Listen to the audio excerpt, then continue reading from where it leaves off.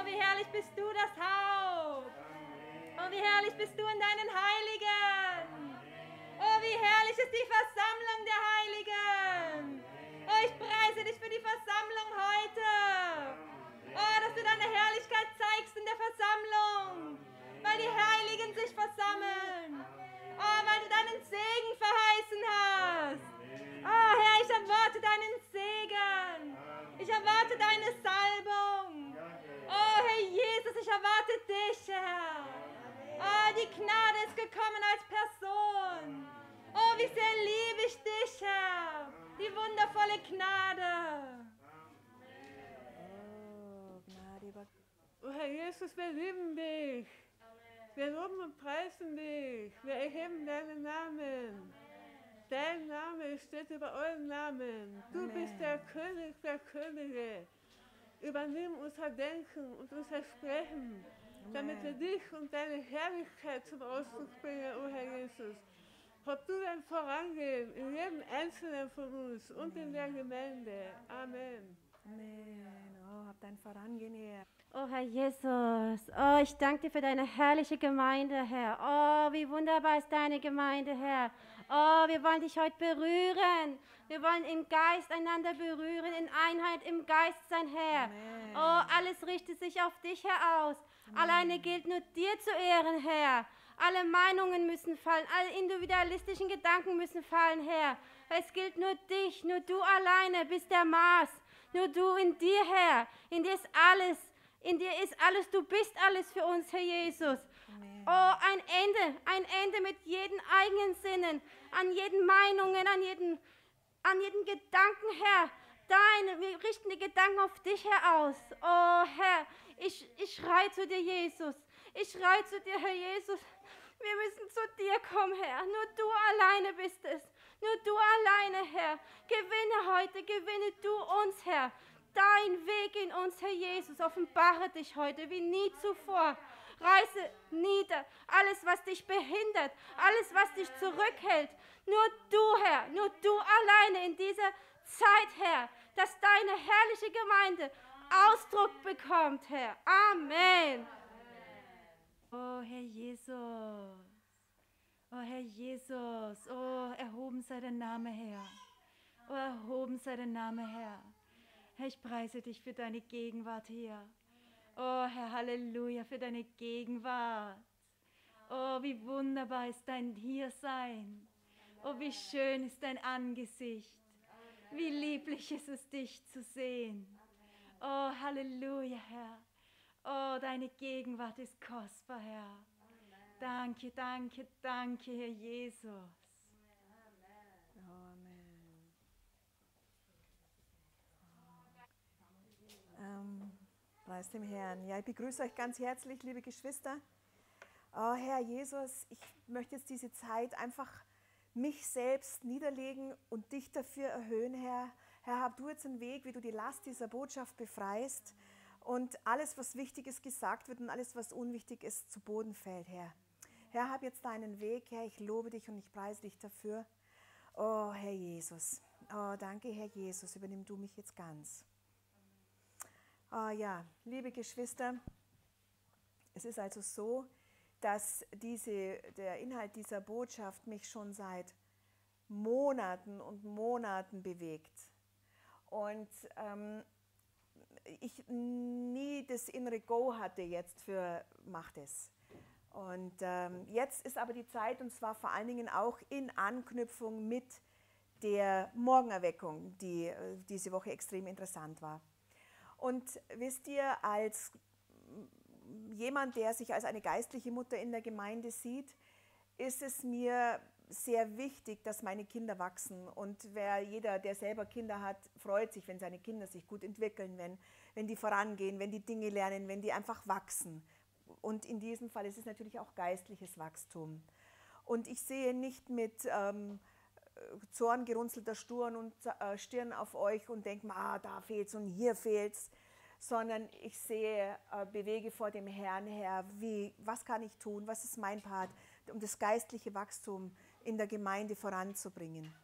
Und das ist das, was auch der Herr will. Der, der Vater wird geehrt durch Söhne und Töchter, die geistlich wachsen, die in die Gereiftheit hineinkommen. Und man beobachtet oder ich beobachte seit vielen Jahren, dass es bei manchen Heiligen ein großes geistliches Wachstum gibt und bei manchen Heiligen weniger geistlich, also großes geistliches Wachstum gibt. Und für die, da kann es jetzt viele Gründe dafür geben. Es gibt sicherlich auch mal den individuellen Aspekt der ganz persönlichen Lebensgestaltung. Inwieweit richte ich mich auf Gott aus in meinem ganz normalen täglichen Alltagsleben, das ja jeder hat? Habe ich ein Gebetsleben? Habe ich ein Leben im Wort? Habe ich, erlaube ich dem Heiligen Geist in meinen Lebenssituationen zu wirken? Erlaube ich ihm, dass er hineinsprechen darf in Situationen? Äh, habe ich auch ein, ein Umfeld des geistlichen Wachstums? Bin ich in einer Gemeinde, wo ich geistlich wachsen kann? Eben, das sind alles sehr individuelle, persönliche Dinge. Über die will ich heute jetzt nicht explizit sprechen, sondern da, ich denke mir, sind ihr wisst selber, wo ihr geistlich steht, ob das besser sein könnte oder nicht. Aber es gibt eben diesen individuellen Aspekt. Aber es gibt auch diesen kooperativen Aspekt. Kooperativ heißt in der Gemeinschaft ausgedrückt, im Leib ausgedrückt. In der Gemeinde, eben im Leib. Und wenn ich jetzt auf die Bibelstelle zurückgehen darf in Epheser 3 ab Vers 14, aber ganz speziell 3, 18, ähm, ich lese es euch vor. Ich lese euch kurz vor, ab Vers 14. Deshalb beuge ich meine Knie vor dem Vater, von dem jede Vaterschaft in den Himmel und auf Erde genannt wird. Er gebe euch nach dem Reichtum seiner Herrlichkeit mit Kraft gestärkt zu werden durch seinen Geist an dem inneren Menschen, dass Christus durch den Glauben in euren Herzen wohnt und ihr in Liebe gewurzelt und gegründet seid also gewurzelt und gegründet, festgewachsen, ja, Kraft gestärkt, in der Liebe gewurzelt und gegründet. Und jetzt kommt's, damit ihr imstande seid, mit allen Heiligen völlig zu erfassen, was die Breite und Länge und Höhe und Tiefe ist und zu erkennen die Erkenntnis übersteigende Liebe des Christus, damit ihr erfüllt werdet zur ganzen Fülle Gottes. Hier sind ein paar Dinge genannt. Äh, Reichtum seiner Herrlichkeit, Kraft gestärkt werden durch seinen Geist in den inneren Menschen hinein, Glaube, der sich entfaltet, Christus, in der Liebe gewurzelt und gegründet sein. Warum? Damit wir in der Lage sind, zusammen mit allen Heiligen völlig zu erfassen, was die ganzen Dimensionen Gottes ist. Und damit wir auch die alle Erkenntnis übersteigende Liebe des Christus erfassen können und erfahren können. Und dieser Vers ist extrem wichtig. Man muss in der ganzen Betrachtung der Bibel einfach sehen, dieses Neue Testament ist gar nicht an einzelne Menschen geschrieben, sondern es geht um die Gemeinde. Und es gibt ein paar Briefe, die sind an einzelne Menschen geschrieben, aber darum ging es wiederum um die Gemeinde. Also geht es eigentlich immer um die Gemeinde, um den Leib. Und wir haben schon in vielen Predigten gehört, der Leib ist Christus selbst. Ich bin nicht nur mein Kopf, ich bin mich im Ganzen. Haupt ohne Leib ist ein Witz. Leib ohne Haupt funktioniert nicht, also wir müssen das Ganze sehen. Und ich habe den Herrn sehr, be also ich habe das oft und oft bebetet, die Tatsache, was ist mit den Heiligen, was kann ich ihnen geben, wo ich empfinde, sie wachsen nicht sie, oder nicht, wie sie sollten. Also was, was behindert sie denn jetzt eigentlich? Was, äh, und der Herr hat zu mir gesagt, und das ist jetzt nicht der einzige Grund, aber der Grund, über den ich jetzt heute sprechen will, ist, weil sie sich nicht mit den Geschwistern verstricken lassen. Und mir war erstmal gar nicht so ganz genau klar, was heißt denn jetzt mit den Geschwistern verstricken lassen ganz genau. Und man muss diesen Begriff verstricken lassen ähm, mit geistlichen Ohren und Augen, einfach mit geistlichen Sinnen wahrnehmen. Und es bedeutet jetzt nicht, dass man sich gegenseitig aushorcht oder neugierig ist und hast du gehört und weißt schon, also äh, oder auf eine übergriffige Art und Weise im Leben des anderen rumfuhrwerkt, was einem gar nicht zusteht. Also das bedeutet verstricken lassen überhaupt nicht. Aber es bedeutet Anteil am Leben des anderen nehmen und Anteil nehmen lassen. Oder das Leben teilen oder in einer Lebensbeziehung zum anderen stecken. Oder gegenseitige Fürsorge und Christus darreichen. Wir haben ja schon ganz oft darüber gesprochen, dass wir glauben und der festen Überzeugung sind und der festen und tiefen Hoffnung, die, die feste und tiefe Hoffnung in uns hegen, dass Christus zu uns, äh, durch uns zum Ausdruck kommt. In unserem ganz täglichen Leben, wo wir halt sind. In all den Dingen, wo wir drinstecken. Aber eigentlich geht es ja auch um den korporativ, also um den in der Gemeinschaft zum Ausdruck gebrachten Christus. Und dieses Anteil am Leben des anderen nehmen oder in einer Lebensbeziehung stehen, das hat auf der einen Seite vielleicht, äh, hat ganz praktische Aspekte, indem man sich trifft, indem man auch sich unterstützt in ganz praktischen Dingen, ja, oder indem man ähm, zum Beispiel Verantwortung oder Dienste in der Gemeinde mit übernimmt. Und das ist jetzt nicht immer der Predigtdienst oder das ist nicht immer nur der Lobpreis, sondern es sind auch so Dinge wie einer, der hier ist, der kauft die Reinigungsmittel und die Toilettenpapier und wir hätten ein Problem, wenn wir das nicht hätten. Das mag jetzt banal klingen, aber es ist so. Oder es gibt Geschwister, die reinigen die Räume. Es gibt Geschwister, für die ist es nie ein Thema. Aber denk dran, äh, du möchtest auch saubere zum Beispiel Toiletten vorfinden und das macht hier jemand. Und indem du dich da einbringst, ganz praktisch, übernimmst du einen Anteil der Fürsorge für alle. Weil es ist ja jetzt nicht so, dass du zu mir nach Hause kommst und meine Toilette putzt, sondern es geht ja hier um die Gemeinschaft, um das Einbringen in der Gemeinschaft. Aber die erste und wichtigste Sache dabei ist, ist natürlich die Versorgung der geistlichen Art. Ich meine, ähm, wir können, das eine soll man tun und das andere nicht lassen. Natürlich hat alle Fürsorge immer einen praktischen Ausdruck, immer. Aber es hat auch eben in erster Linie einen geistlichen Ausdruck, indem ich mich zum Beispiel im gemeinsamen Gebet mit den Geschwistern treffe. Und das muss ja nicht, wenn man jetzt sich nicht treffen kann, weil man wenig Zeit hat. Man kann ja auch mal am Telefon zehn Minuten miteinander beten oder einen Vers beten lesen. Und vielleicht magst du sagen, ja meine Güte, mein Tag ist eh schon sehr voll. Aber ich traue mich zu behaupten, dass in jeden, im Tag von jedem Einzelnen von uns Lücken sind, die wir vertun und die wir anders nützen könnten. Ja? Und es ist tatsächlich so, dass die Gemeinschaft mit den Heiligen zusammen, die bilden die ganze Dimension des Christus. Wenn ich jetzt sage, die Heiligen, dann ist es so, ich meine, ich kann jetzt mit den Heiligen, die in Australien sind oder in Hamburg wohnen, nur sehr bedingt Gemeinschaft haben.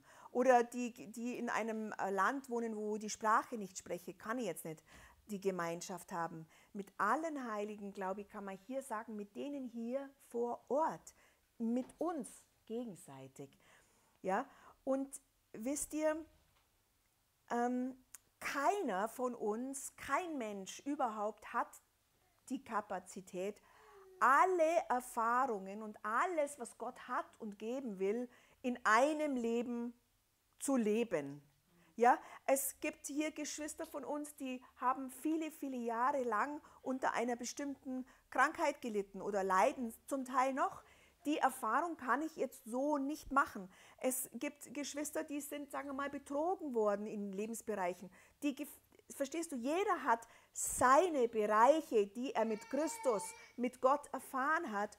Und es geht darum, dass wir unsere Bereiche haben und wir können aber Anteil nehmen aneinander und an dem, was Gott gemacht hat im Leben des anderen. Weil der eine hat zum Beispiel, sagen wir mal, eine Sucht überwunden, der andere eine Minderwertigkeit, der andere eine Unvergebenheit, der andere, wie gehe ich mit einem Betrug um, wie gehe ich mit einer chronischen Krankheit um und all diese Dinge. Und jeder hat bereits Erfahrungen von dem Christus in sich. Und da ist jetzt keiner, der und das, man darf diese Erfahrungen nicht gegeneinander ausspielen. Meine sind wichtiger als deine. verstehst du, was für dein Leben wichtig und lebensrettend war, muss jetzt nicht zwangsläufig für mein Leben wichtig und lebensrettend gewesen sein. Und trotzdem ist es der gleiche Christus, weil Christus sich durch seine vielen, also durch die vielen Brüder in irgendeiner Weise zum Ausdruck bringt. Und indem wir aneinander Anteil haben, selbst wenn ich diese Erfahrung nicht so lebe und gelebt habe, ist es trotzdem mein Anteil mit, weil wir sind ein Teil eines Ganzen. Und extrem klar ist mir das geworden mit unserer geliebten Schwester Christa. Die hat in ihrem Leben ein Lebenszeugnis mit Gott aufgerichtet und obwohl sie nicht vorne steht und nicht predigt und obwohl sie vielleicht gar nicht so sehr viel sagt, ist dieses Zeugnis von ihr trotzdem in der Gemeinde drin. Also du musst nicht immer nur jetzt da predigen oder äh, die anderen belehren. Es genügt, dass dein Zeugnis da ist und in einer Lebensbeziehung, wenn du zueinander stehst, fängt man automatisch an, mal drüber zu reden. Oder einer erzählt einem über eine bestimmte Situation, wo man vielleicht hängt oder wo man gerade ringt damit. Und dann kommt das ganz automatisch, dass man sagt, weißt du, mir hat in so einer ähnlichen Situation das und das geholfen. Lass uns beten. Ja? Du kannst nicht die Methode vom anderen übernehmen, aber du kannst, ich sag's mal so, den Geistraum, den der andere schon beackert hat, verstehst, wo, wo er schon was von Christus angebaut und geerntet hat, von dem kannst du partizipieren und es macht dir vielleicht Hoffnung, dass du in deiner Situation bist du nicht allein. Ja, ich hatte einmal eine junge Schwester, die gesagt hat, du weißt gar nicht, was ich alles erlebt habe. Und dann habe ich gesagt, weißt du, du weißt gar nicht, was die Geschwister in der Gemeinde schon erlebt haben. Es gibt nämlich hier überhaupt gar keinen Einzelnen, der nicht schon wirklich Themen in seinem Leben erlebt hat. Also hier gibt es gar keinen. Ja? Es gibt überhaupt gar keinen Menschen, der nicht schon Dinge erlebt hat, die ihn herausgefordert haben, die ihn verletzt haben, die ihn zum Verzweifeln gebracht haben, etc. etc. Den gibt es gar nicht, diesen Menschen. Aber damit, dass du siehst, ich bin gar nicht allein und der eine konnte es überwinden oder der andere betet für mich, damit nimmst du Anteil. Und diese, diese geistliche Art ist wirklich etwas, wofür man sich entscheiden muss. Und das sind Ängste ganz oft. Ich kann mich nicht mehr öffnen. Ich bin so enttäuscht worden. Ähm, oder ich bin so mies. Was habe ich schon zu geben? Oder ich bin so großartig. Was soll ich mit den anderen allen? All das stimmt nicht. Das ist alles der alte, natürliche Mensch. Ja, der fühlt sich manchmal großartig und manchmal total minderwertig und der hat schon heftige Dinge erlebt und der hat Angst vor verbunden werden und der hat Angst vor wieder verletzt werden und der hat Angst vor wieder enttäuscht werden und, und, und, und, und. Aber das ist doch der alte Mensch. Wir sind doch nicht schuldig, diesen Menschen zu leben mehr. Der Herr sagte, ich gebe dir doch einen Neuanfang. Lass doch mich der Neuanfang jetzt sein, wenn du merkst zum Beispiel, ich kann nicht mehr vertrauen dann lass mich doch der Neuanfang, die Gnade für den Neuanfang ist heute, jetzt in dieser Stunde. Das ist nicht, dass du sagst, nein, das war vor zehn Jahren mal und heute passiert es nicht mehr, sondern der Herr gibt uns jeden Tag, jeden Tag, solange diese Gnadenzeit jetzt ist und sie ist noch, den, den Punkt für den Neuanfang. Und wenn du anstößt und jeder stößt bei sich und seinem alten Menschen an irgendeinem Punkt an und nicht nur einmal, sondern hundertmal. Aber der Herr sagt immer wieder, ich gebe dir einen Neuanfang, ich gebe dir einen Neuanfang, ich gebe dir einen Neuanfang, wo du da nicht drüber geben kannst. Und wisst ihr, die Gemeinde wird aufgebaut durch unsere geistliche Gemeinschaft. Haben wir nur Gemeinschaft auf der natürlichen Ebene, dann sind wir nichts anderes wie ein christlicher Club. Ja, eine Interessensgemeinschaft. Uns gefällt halt das und dann machen wir das. Der Dackelzüchterverein, der mag Dackel und das verbindet uns. Ja, und wir mögen irgendwie Christus und das verbindet uns, aber das stimmt nicht. Es ist eine geistliche Sache. Es sind nicht äußerliche Dinge, die uns einen, sondern es ist der innere Geistfluss. Und wisst ihr, wir sind in der Wiedererlangung. Und vielleicht ist manchen von uns gar noch nicht klar, was ist denn jetzt die Wiedererlangung? Die Wiedererlangung ist nicht eine spezielle Lehrausrichtung oder eine Denomination, die der Watchman nie gegründet hat oder irgendwie sowas. Die Wiedererlangung ist das geistliche Vorangehen Gottes in Menschen, was zu dem Ziel führen soll, dass er viele Gottmenschen hervorbringt, die dieses Zeitalter beenden, sodass er wiederkommen kann, das tausendjährige Reich kommen kann und am Schluss des tausendjährigen Reiches das neue Jerusalem. Und dann, wie es dann weitergeht, das werden wir dann erfahren. Aber das ist die Wiedererlangung. Und was der Herr wiedererlangen will, das ist diesen korporativen Ausdruck. Ausdruck. Und wisst ihr, gleich unmittelbar nach dem Sündenfall kam schon Spaltung. Die Frau, die du mir gegeben hast, der Mann, der, der, der, der. Verstehst? Die Brüder fangen an zu streiten. Das ist der Ausdruck Satans. Aber der Ausdruck Christi ist Einigkeit. Ist Einigkeit so, ihr sollt eins sein, so wie ich mit dem Vater eins bin. Das ist ein Ausdruck. Und eine Sache, die dir vielleicht gar nicht so klar ist, wie du Fürsorge, für, also in geistlicher Art, ja, und natürlich sollten auch praktische Hilfeleistungen oder Unterstützungen nicht fehlen, weil Liebe braucht immer einen, gelebten Ausdruck. Eine Liebe, die man nicht merkt, ist es wie, wenn ich sage, ich habe viel Geld und laufe rum wie ein Bettler. Dann ist es so, als ob du es nicht hättest. Ja? Oder äh, Freude, die man nicht merkt, ist keine Freude. Das ist ein Witz. Also alles hat einen Ausdruck. So hat die Liebe auch einen Ausdruck. Und eine Sache, die ich wirklich beobachtet habe, also wie gesagt, neben Gebetstreffen und da kann man ruhig einen Kaffee trinken und einen Kuchen essen, das ist jetzt nicht so arg, aber bleib nicht bei dem im Vordergrund. Man kann auch einen Spaziergang machen oder eine Bergtour machen miteinander, aber bleib nicht im Vordergründigen bei dem. Man darf ruhig ein bisschen auch Spaß haben dabei, aber bleib nicht im Vordergründigen stehen, sondern schau, dass eine geistliche Gemeinschaft wird. Und zum Beispiel eben durch ein geistliches Studium oder ein Beten lesen. Es muss nicht immer wir machen das jetzt 24 Stunden am Tag, das kann ja gar keiner aushalten, sondern es können kleine Momente sein. Wir rufen uns um 10 Uhr zusammen und lesen einen Vers, beten 10 Minuten, preisen den Herrn und dann gehen wir wieder auseinander, weil wir haben ja auch noch ein Leben zu bewältigen. Solche Dinge. Eine Vitalgruppe, miteinander sich geistlich treffen und oder eben auch einen Dienst übernehmen für die Gemeinde, den Kindern dienen. Es gibt so viele Dinge, die wir die so im Hintergrund laufen, wo du sagst, ich nehme Fürsorge.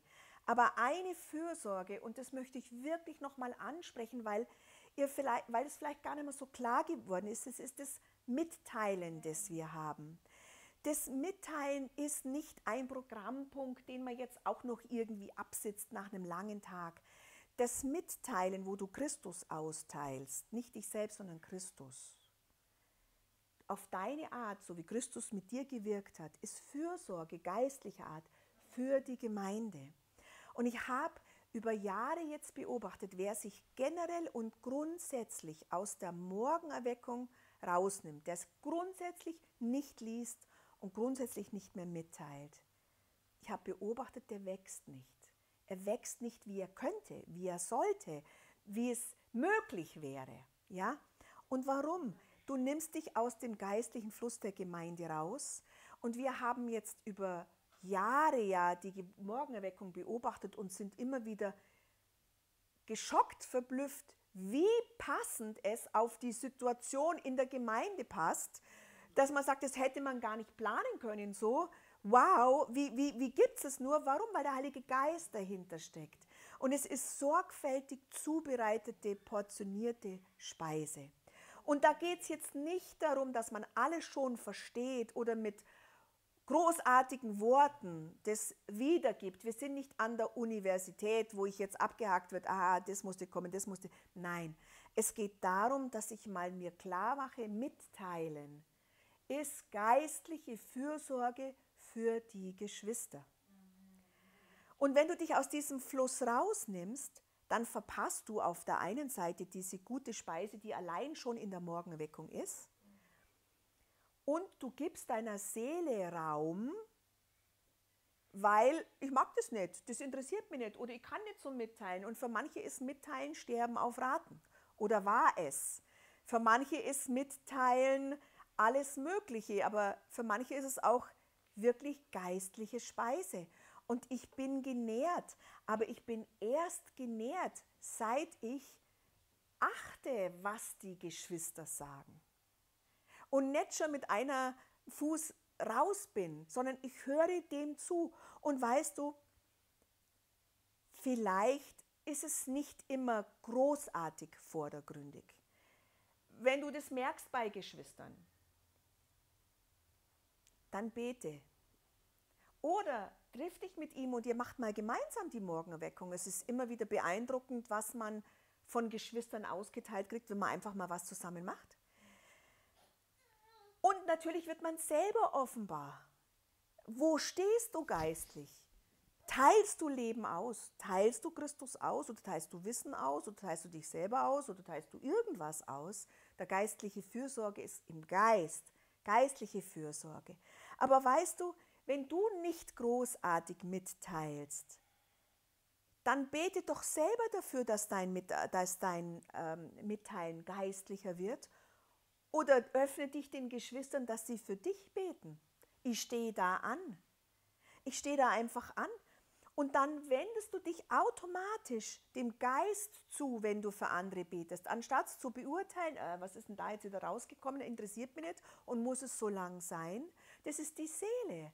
Aber wenn du in der Seele bleibst, hast du keinen geistlichen Zuwachs. Aber wenn du dich, angenommen, es ist jetzt wirklich ein Chaos, was der andere sagt, dann wende dich in dem Moment einfach dem Geist zu und du wirst trotzdem genährt, weil du wirst von dem Herrn dazu gebracht, dass du dich dem Geist zuwendest, denn deinen inneren Geist zuwendest. Äh, schenkst du dir das alles, erwartest du nichts mehr, empfängst du auch nichts. Aber du empfängst so oder so. Ob das Mitteilen gut ist, empfängst du vom Mitteilen. Ist das Mitteilen nicht großartig, empfängst du die Gnade von Gott. Und dann wendest du dich ebenfalls der geistlichen Versorgung zu. Das schwierig, das Größte, wisst ihr, und mitteilen braucht Demut auf der einen Seite, weil du wirst offenbar, auch vielleicht in deiner Selbstüberschätzung, in deiner Arroganz oder in deinem mangelnden geistlichen Leben. Du brauchst Demut und Zuhören in Wertschätzung und vom kleinsten meiner Geschwister und vom größten meiner Geschwister zu empfangen, braucht ebenfalls Demut. Und weil wir in unserem natürlichen Menschen nicht demütig sind, sondern stolz und überheblich, wie auch immer sich das zeigt, ich kann auch, oh, ich bin so schlecht, kann total stolz sein, braucht die Gnade. Das ganze geistliche Fürsorge, wirkliche geistliche Fürsorge, die zum Aufbau des korporativen Christus, dass er durch uns im Gesamten zum Ausdruck kommt, brauchst du die Gnade brauchst du etwas, wo du dich dem Herrn zuwächst und sagst, weißt du, ich kann den nicht lieben, ich kann ihn nicht mal mögen. Ich brauche deine Gnade. Jesus setzt den Maßstab so hoch, dass er un nicht erreichbar ist, was sagt, liebet eure Feinde. Wer kann das aus sich? Niemand. Man kann bestenfalls so tun, als ob. Jesus kann. Und nur er kann, und er will es in uns bewirken. Und so ist es mit den Gemeinden, äh, mit dem gegenseitig in der Gemeinde. Und wisst ihr, vielleicht hast du jetzt nicht die Zeit oder die Kapazität oder du wohnst weit weg und du sagst, ich würde mir ja liebend gern mit den Geschwistern auf einen Kaffee trinken oder, oder was treffen, einfach so. Aber du kannst durch Gebet Anteil nehmen. Du kannst durch dein Mitteilanteil, durch dein Mitteilen Anteil nehmen und Fürsorge, Fürsorge in die Gemeinde hineingeben. Und wisst ihr, wofür man sorgt, wofür man einen Preis bezahlt hat, wo man Zeit investiert hat, wo man Gebet investiert hat, wo man vielleicht sogar Geld investiert hat, das wird einem kostbar. Wenn du anfängst, in, in, also in dein geistliches Leben zu investieren und in das mit den Geschwistern Zeit hineinzubringen, Gebet hineinzubringen, ein Gespräch mal zuhören, dass man überhaupt einmal versteht, was, warum tickt der so, warum ist er so struppig, dornbuschmäßig zu mir, ja, warum komme ich den an den nicht dran? Du weißt ja gar nicht, was er für Wunden mit sich trägt, ja, dann bete und wo du dich investierst, durch Gebet, durch Gemeinschaft, das fängst du automatisch an zu leben. Es wird in gewisser Weise deins. Ja, du, du kriegst, du, da gibt dieses Wort Ownership, also du bist Eigentümer, nicht jetzt falsch verstehen, sondern es wird zu deinem, weil es eine Wichtigkeit erlangt. Weil die Geschwister, Teilhabe, ja, genau, weil, du, weil, du, weil die Geschwister werden dir wichtig, die Gemeinde wird dir wichtig. Kommst du nur als Besucher, der sich berieseln lässt, dann ist es nicht wichtig. Dann ist es so optional, ob du kommst oder ob du nicht kommst. Ja, kann ich haben, kann ich nicht haben. Aber wenn du merkst, hier sind meine Geschwister und der Christus in der Karina ist so einzigartig und ich brauche den. Und manchmal wirklich, der Herr hat mich über Jahre geschult, indem er zum Beispiel oft irgendeinen Satz, wo jemand mir irgendwie so nebenbei irgendwas erzählt hat, auf einmal stieg das in meinem Geist auf. Das war gar nicht so, ho, das muss ich mal aufschreiben, das war so kostbar äh, und das darf ich nicht verpassen. Silvia macht irgendwas, sondern auf einmal holt der Heilige Geist es raus und sagt, wow, wow, ist das nicht ein, ist das nicht ein Hammer, was mir, was weiß ich, die Maria Luise erzählt hat? Ist das nicht, wow, Herr, wow, wow, ist das großartig. Und auf einmal wird dir etwas kostbar, was du vorher gar nicht sehen konntest. Da, wo dein Schatz ist, ist dein Herz. Und es ist nicht nur das Geld, sondern da, wo du investiert hast, da, wo du gebetet hast, wo du vielleicht vor dem Herrn geweint hast für den. Nicht wegen dem oder vielleicht auch wegen dem, weil es dich so getroffen hat, ja. Aber wo du mit dem Herrn durchgegangen bist, dort hast du einen geistlichen Mehrwert erwirtschaftet, wenn man das mal so betriebswirtschaftlich sagen darf. Und dieser Mehrwert, der kann zu den anderen fließen.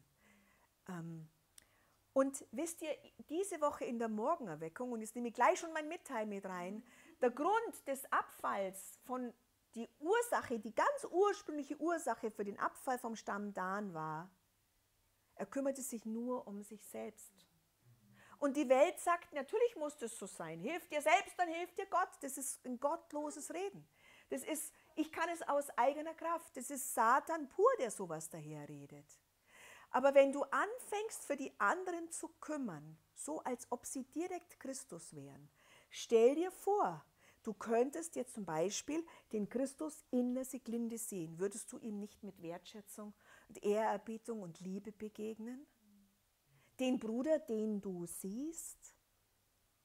Es ist so leicht zu sagen, oh Herr Jesus, ich liebe dich. Weißt du, das ist oftmals so dieser Fantasie-Jesus, irgendwo im Orbit der macht auch nichts falsch und der sagt mir auch nichts Dummes oder der ärgert mich nicht oder irgendwas. Aber was ist mit dem Bruder, in dem genau dieser Jesus lebt und der Schwester? Kann ich dir auch so begegnen? Ich kann mir an eine Situation erinnern, wo ich zu Hause mal das Bad geputzt habe und rumgeknurrt habe und der Herr sagt, was ist, wenn du es für mich putzen würdest? Und alles Knurren war zu Ende. Wenn es der Herr Jesus wäre, der hier äh, Gesabber gemacht hat, würde ich nicht knurren, sondern würde sagen, klar, mach ich. Aber kannst du es für deinen Nächsten? Und mein Ehemann ist auch mein Nächster, also mein Bruder. Der ist noch mehr Bruder als Ehemann. Versteht es nicht falsch. Die Ehe wird endlich sein, wenn wir sterben, ist die Ehe zu Ende, aber in Ewigkeit werden wir im Leib Christi zusammen sein. Das ist noch was anderes. Okay, und wisst ihr, der, der Dan hat es gar nicht so schlecht gemeint. Der hat gesagt, ja, wir machen mein eigenes Anbetungszentrum, wir ersparen uns den Weg nach Jerusalem. Das ist so gar nicht so schlimm und ich meine es ja auch gut und wir können doch auch und wir haben doch auch Gott und ich brauche ja eigentlich nur mich und das, was wir haben. Und letztendlich hat es zur Spaltung von Israel geführt und dann in der Konsequenz, dass von den zwölf Stämmen zehn Stämme, also wirklich richtig viele, weggerissen wurden und niemals wieder hat sich Israel davon erholt, so wirklich. Das muss man sich mal vorstellen. Und jetzt nochmal, warum ist diese geistliche Gemeinschaft so wichtig? Ich glaube, eines der wichtigsten Dinge ist es, es rettet dich von deinem Individualismus, von deinem Stolz und Rebellion und es rettet dich in erster Linie davor, es dir in deinem Seelenleben bequem zu machen. Warum? Weil du kommst zwangsläufig, zwangsläufig, immer, immer, immer in 100% von 100 Fällen an dein inneres Ende. Irgendeiner nervt dich schon so, dass du nimmer kannst. Irgendeiner stellt sich schon so doof an. Irgendeinen magst du schon nicht. Also das ist einmal ganz sicher. Und wenn du dich davon zurücknimmst und die Seele sagt dir erst, das muss ich mir doch nicht antun, also mit dem blöden X muss ich mir doch nicht treffen, muss ich mir doch nicht antun, dann gibst du deinem Seelenleben den Raum, der dir sagt, also das musst du dir nicht antun. Gott darf damit überhaupt nichts sagen, ja, weil er sagt, doch, du musst es dir antun und meine Gnade nehmen dafür. Meine Gnade brauchst du, dass du es dir antun kannst. Ich will ja gar nicht hier die Gruppe haben, die sich piep, piep, piep, wir haben uns alle lieb, wir verstehen uns doch so gut. Äh, das ist doch nur auf der natürlichen Ebene und da gibt es schon Gruppen, die sich ganz gut verstehen. Aber selbst wenn du dich gut verstehst und es bleibt auf der natürlichen, seelischen Ebene, bringt es keinen geistlichen Mehrwert. Aber eine Beziehung, die durch weint, durchrungen mit Gott, bearbeitet in Gebet, in Demütigungen, in, in sich selber vor Gott demütigen durchgegangen ist, die hat einen geistlichen Mehrwert und der ist großartig. Solche Beziehungen sind unkaputtbar. Auf sowas kannst du bauen. Verstehst du, wenn die Liebe Christi mit dich mit jemandem verbindet, wo du genau weißt, im Natürlichen hätte mit dem nichts zu schaffen, dann weißt du, bist du auf einem Grund, der ist nicht erschütterbar. Und selbst wenn der morgen was ganz Doofes sagt und ich was noch Dooferes dazu sage, ist die Liebe, das Band der Liebe, dieses Band, das nur Christus hat, viel stärker. Und wisst ihr was? Die Gemeinde hat gar also das, die Geschwister in der Gemeinde hat mit unserer Wahl gar nichts zu tun. Es ist Gottes Wahl. Gott hat die Wahl getroffen und hat uns aus allen möglichen Winkeln und Ecken, zum Beispiel jetzt hier physisch vor Ort, zusammengeführt. Da hatte ich gar nichts mitzureden, weil wenn es nach mir gegangen wäre, ich wollte gar nicht kommen und so ging es anderen auch. Und irgendwie hat es der Herr geschafft und hat den einen aus dem Eck gezerrt und dem anderen aus dem Eck gezerrt und uns zusammengestellt. Und wir würden, wenn wir uns jetzt einfach so irgendwo treffen, mit den meisten Leuten gar nichts gemein haben. Und das ist gut so, weil das bewahrt uns davor, dass wir in so natürliche Klüngeleien verschwinden, sondern es zwingt uns förmlich mit der Andersartigkeit des anderen wir sind ja für den anderen auch andersartig, umzugehen und dort einen gemeinsamen Weg zu finden. Und dafür brauchst du den Gnade. Und es ist auch so wichtig, dass wir sehen, dass die geistlichen Erfahrungen unserer Geschwister, wenn du mit ihnen in einer Lebensbeziehung stehst und nur dann, kommen sie dir in irgendeiner Art und Weise zugute. Und es ist oft extrem geheimnisvoll, wie das wirkt. Auf einmal merkst du, es floss was. Und manchmal merkt man es noch nicht mal und trotzdem kommen es dir zugute. Und du bist geschützt dadurch. Du bist geschützt, dich in Dinge zu verrennen. Du bist geschützt. Ja, Du bist geschützt davor, dich in Dinge zu verrennen, wo du einfach wirklich gar nicht merkst, dass du auf irgendeinem Fehlplatz bist, wo du auf einmal merkst, irgend zum Beispiel ein politisches Thema oder ein Umstand, der reißt mich weg wie ein Strudel in sich hinein und, und plötzlich finde ich den Weg nicht mehr zurück. Aber wenn du einen Bruder, eine Schwester hast, die dich kennt, mit der du in guter Beziehung stehst, die wird dann mit dir reden und wird sagen, du hoch mal, äh, wo, wo, bist du eigentlich geistlich jetzt geblieben? Halleluja, lass uns mal zusammen den Herrn genießen. Ja, nicht indem ich dich jetzt runterwatsch und dir sage, was du alles falsch machst. Nein, komm, lass uns mal beten miteinander. Oder, oder du merkst, wo rennt der Bruder hin? Was macht der gerade mit seinem Leben? Hilfe, das sind Fehlentscheidungen. Äh, du, du, in dir macht es ganz komische Gefühle und du gehst einfach zum Herrn und betest für ihn. Unterschätzt nicht das Gebet füreinander. Oh Herr Jesus. Und weißt du, in der Gemeinschaft mit anderen werden wir zum Ende gebracht, in unserem natürlichen Leben. Und nur wenn wir in unserem natürlichen Leben zu Ende gebracht werden, kann ja die Auferstehungskraft, die Gnade wirklich fließen. Vorher sind wir ja nur selber stark oder selber schwach oder selber, selber, selber irgendwas. Aber wenn die Gnade Gottes fließt in unseren Beziehungen, dann hat Christus einen Ausdruck, der weit über das, was ich oder du als Privat, Einzelperson haben könnte. Und in diesen Situationen wirst du gestärkt in deiner persönlichen Lebenssituation, wo du stehst, mit deinen Kindern am Arbeitsplatz, mit den Herausforderungen, wo du halt immer damit konfrontiert bist. Es stärkt dich, es schützt dich. Und weißt du, du kannst dann nicht so, wie du willst. Du wirst zusammengebunden mit jemandem und es ist anstrengend manchmal, weißt du? Dann ist es so, du hast vielleicht einen, der ist viel schneller als du. Der, der, kann geist, der ist schon geistlich woanders und das ist anstrengend. Ja, da will man dann die Minderwertigkeit will sagen, oh, ich hab's eh nicht oder ach, bei dem ist es ja ganz leicht. Verstehst du? Seelenleben hat immer irgendwelche Ausflüchte. Aber du kannst auch die Gnade nehmen und sagen, Herr, ich möchte da mithalten. Ich möchte mit der Geschwindigkeit von einem X oder Y mithalten. Halleluja, gib mir die Gnade dafür. Ich nehme von dem, ich halte mit ihm mit. Oder im anderen Punkt, der ist viel langsamer als du. Dann musst du dich koordinieren. Dann musst du langsamer werden. Ja, wisst ihr, und um das geht's. Und dafür brauchst du genauso die Gnade. Wir brauchen die Gnade. Und was meine ich, wenn ich sage, wir brauchen die Gnade? Wir wenden uns Christus zu und nehmen von ihm die Kraft und die Versorgung, in dieser Situation geistlich voranzugehen. Zu gehen. Und da wirst du, du wirst in dem Prozess wirst du hinterfragt, du wirst offenbar gemacht in deiner Stärke, in deiner Schwäche. Und in unserer Schwäche offenbar gemacht werden wollen wir nicht so gerne. Wir wollen stark und unabhängig sein. Aber weißt du was? Die Schwäche ist trotzdem da, auch wenn du stark und Unabhängigkeit sein, unabhängig sein möchtest. Die Schwäche ist trotzdem da. Es geht nicht darum, stark oder schwach im Natürlichen zu sein. Es geht darum, im Geist zu wachsen. Um das geht's. Und oft sind wir zu stark in uns selber und vertrauen noch auf uns und denken, wir können es noch alleine. Wir können bis zu einem bestimmten Punkt alleine, genauso wie bis zu einem bestimmten Punkt geduldig sein können oder lieben oder freundlich sein können. Aber nur bis zu einem bestimmten Punkt. Und der ist je nach Situation und Disposition von uns Menschen unterschiedlich.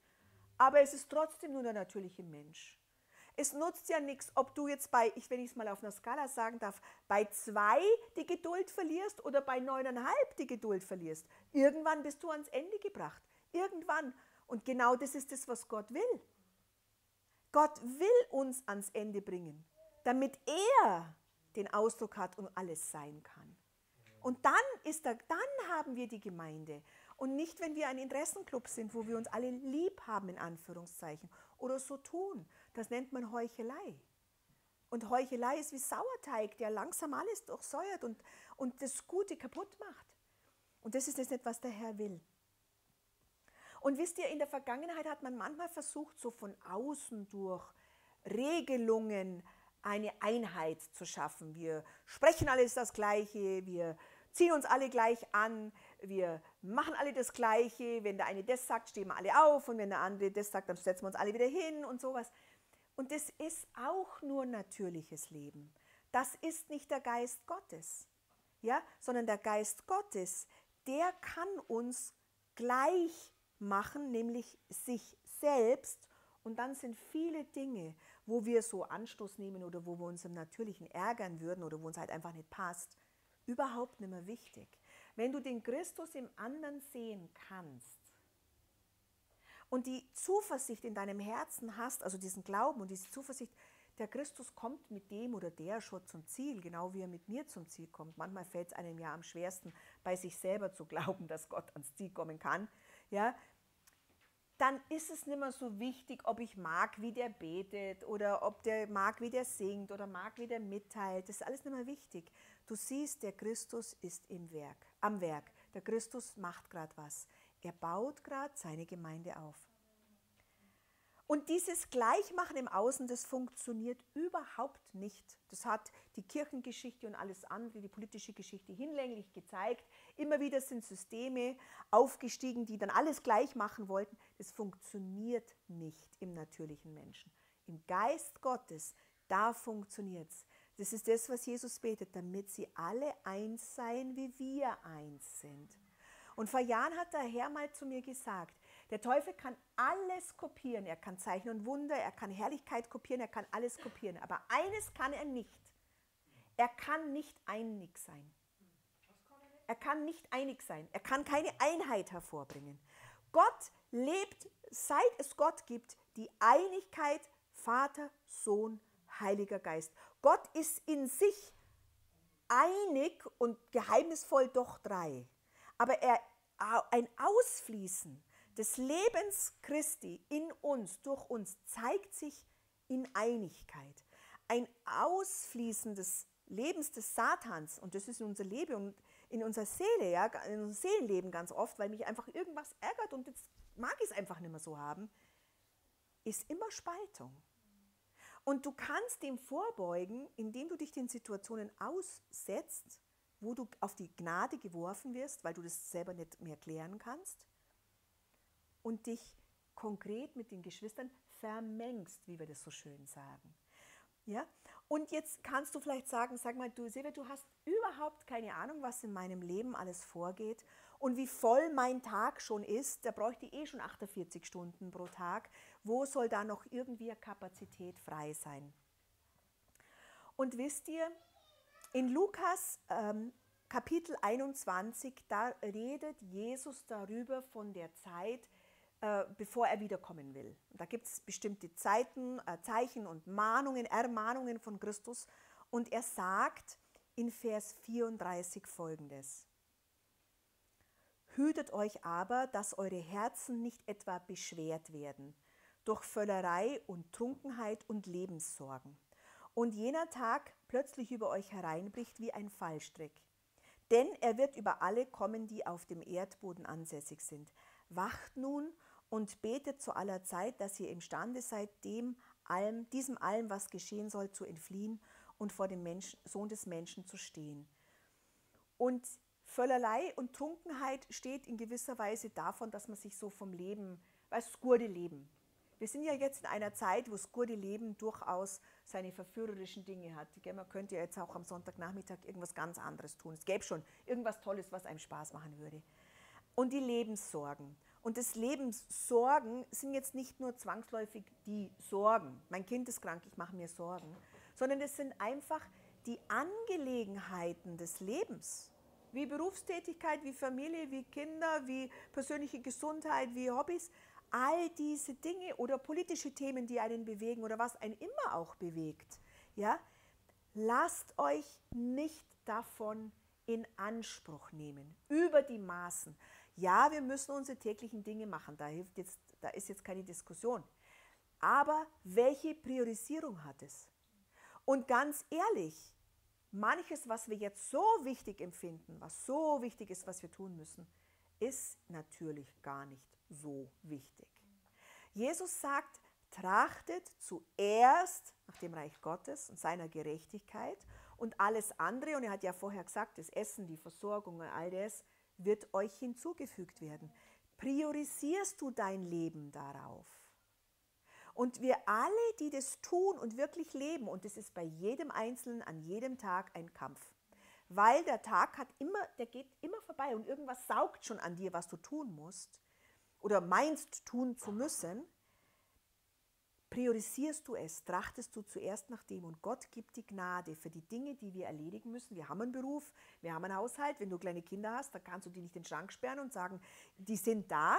Das ist einfach so. Oder wenn du Familienmitglieder hast, die du versorgst oder irgendwas, das musst du schon machen. Aber Gott gibt eine spezielle Gnade dafür, dass du nicht davon aufgefressen wirst. Und wisst ihr, ein Beispiel ist Paulus. Paulus sagt, ich habe mehr gearbeitet als alle. Und wenn man das mal so sieht, was der Paulus gemacht hat, der hat im Morgengrauen gelehrt, hat dann gearbeitet, hat in der Mittagsruhe wieder gelehrt, hat wieder gearbeitet und am Abend wieder gelehrt. Also dem sein Tag hatte möglicherweise 18 bis 19 Stunden. Und wie hat er das gemacht? Und dann sagt er noch, betet alle Zeit. Unaufhörlich. Ja, wie jetzt? Er hat einen Weg gefunden, indem er priorisiert. Indem er priorisiert. Und wie du das in deinem Leben machst, tausch dich mit den Geschwistern aus, welche Siege sie in diesen Bereichen errungen haben. Wo, wo sie, wenn sie einen vollen Tag haben, mit kleinen Kindern zum Beispiel und Berufstätigkeit und Fahrtweg und was man halt so alles machen muss in gewisser Weise, wo haben sie denn ihre Lücken gefunden? Und auf einmal kriegst du vielleicht eine Idee und sagst, oh, das könnt ihr ausprobieren. Und fang mit kleinen Dingen an, fang jetzt nicht mit den großen Sachen an. Und die Angelegenheiten des täglichen Lebens, das ist ein Sog und den hat jeder Einzelne, ob das jetzt wichtige Dinge oder unwichtige Dinge sind. Der Sog der Zeit, gerade in den Medien, der saugt dich weg. Das merke ich immer wieder selber. Uh, jetzt gerade die ganze Berichterstattung, vorher jahreweise Corona, jetzt der Krieg. Du könntest dich einsaugen lassen von dem. Ja? Und wupp, wo bist du nach Stunden? Bist du und wie fühlst du dich danach? Hast du dann was ge gegeben? Wenn du natürlich, ich informiere mich auch über das politische Geschehen und dann muss es auch wieder gut sein. Das ist nicht meine Priorität des Tages. Ja? Und wisst ihr, es ist tatsächlich eine Entscheidung, wie priorisiere ich mich. Und es ist nicht einmal eine Entscheidung, die man getroffen hat, sondern wieder und in wieder und in wieder und wieder und wieder in tausend kleinen Situationen. Ich, ich priorisiere mein Leben hin. Ich, ich priorisiere, dass sie wenigstens zum Beispiel einmal die Woche mit irgendeinem Geschwister, wo ich jetzt noch gar keinen so Kontakt habe, Kontakt aufnehme. Mal mit ihm einfach zehn Minuten bete oder beten lese oder irgendetwas mache, raus aus dem, was ich bis jetzt gemacht habe. Und ich weiß, dass viele Geschwister das schon machen untereinander und die haben eine großartige Zeit. Äh, und es ist super. Wenn du es noch nicht machst, lass dir helfen von denen, die es schon machen. Ruf halt mal, trink mit ihnen einen Kaffee. Und wenn es nicht passt, weil du da wohnst und der andere wohnt halt da, dann telefonier mal oder fang an, ihn zu bebeten. Herr, ich weiß nicht, was den und den bewegt, aber Herr, Herr, hab einen Weg. Herr, ich danke dir, dass du dich verherrlichst. Herr, ich preise dich und du wirst sehen, du wirst anfangen, die Geschwister zu lieben wie nie zuvor. Wie nie zuvor. Die Liebe wächst automatisch. Und da ging es auch um Epheser am Anfang. Die Liebe. Die Liebe fest gegründet in der Liebe und gewurzelt. Und wisst ihr was? Wir sind in der letzten Zeit. Der Herr will und wird, er hat es vorher gesagt, ja, es wird geschehen. Betet, dass ihr wach seid, seid wach und betet, dass ihr dem entfliehen könnt. Der Herr wird dieses Zeitalter beenden. Und die Wehen davor werden immer stärker. Und glaubt nicht, weil Corona jetzt nicht mehr in aller Munde ist, dass es nicht andere Themen geben wird. Und wenn ihr mal lest in Matthäus 24, dann werden da gewaltige Dinge kommen und viele Dinge sehen wir schon und es wird nicht mehr weniger werden, sondern der Herr lässt das zu, damit damit seine Gemeinde in Herrlichkeit hervorkommt, damit gesehen wird, Jesus sagt, an der Liebe zueinander werden sie euch erkennen. Ja, was ist das für eine Liebe, die keinen Ausdruck hat? Liebe hat einen Ausdruck. Also ich kann nicht erkennen, dass mich jemand liebt, wenn der nie ein Wort mit mir redet. Wie soll man das dann sehen? Die liebt. Es geht ja nicht. Ja? Und Jesus sagt, also ihr könnt einfach im Kapitel Matthäus 24 einfach mal lesen, was diese Wehen sein werden. Aber er sagt, ähm, er sagt in Vers 12 dann, dass die Gesetzlosigkeit überhand nehmen und die Liebe zueinander erkalten wird. Und warum wird die Liebe erkalten? Also A muss dann vorher schon mal eine Liebe gewesen sein, weil sonst könnte sie ja nicht erkalten. Ja, die Liebe unter den Geschwistern, warum? Indem ich Anstoß nehme oder indem ich einfach von den täglichen Lebenssituationen so in Anspruch genommen werde, dass ich keine Zeit mehr habe, für den zu beten oder den mal anzurufen oder immer mal äh, ein gutes Wort oder ein WhatsApp zu schicken, weißt du, ich denke an dich. Und es gibt Geschwister, die machen das regelmäßig und die sagen, kann ich was für dich beten? Habe ich das? Und nicht, oft habe ich mal nichts, aber wenn weiß ich, kann ich mich dahin wenden. Und jeden einzelnen Tag geht bei uns, bei jedem Einzelnen der Kampf um die Zeit und um die, was tun wir mit unserer Zeit, also die Priorisierung. Was ist das Erste in unserer Zeit?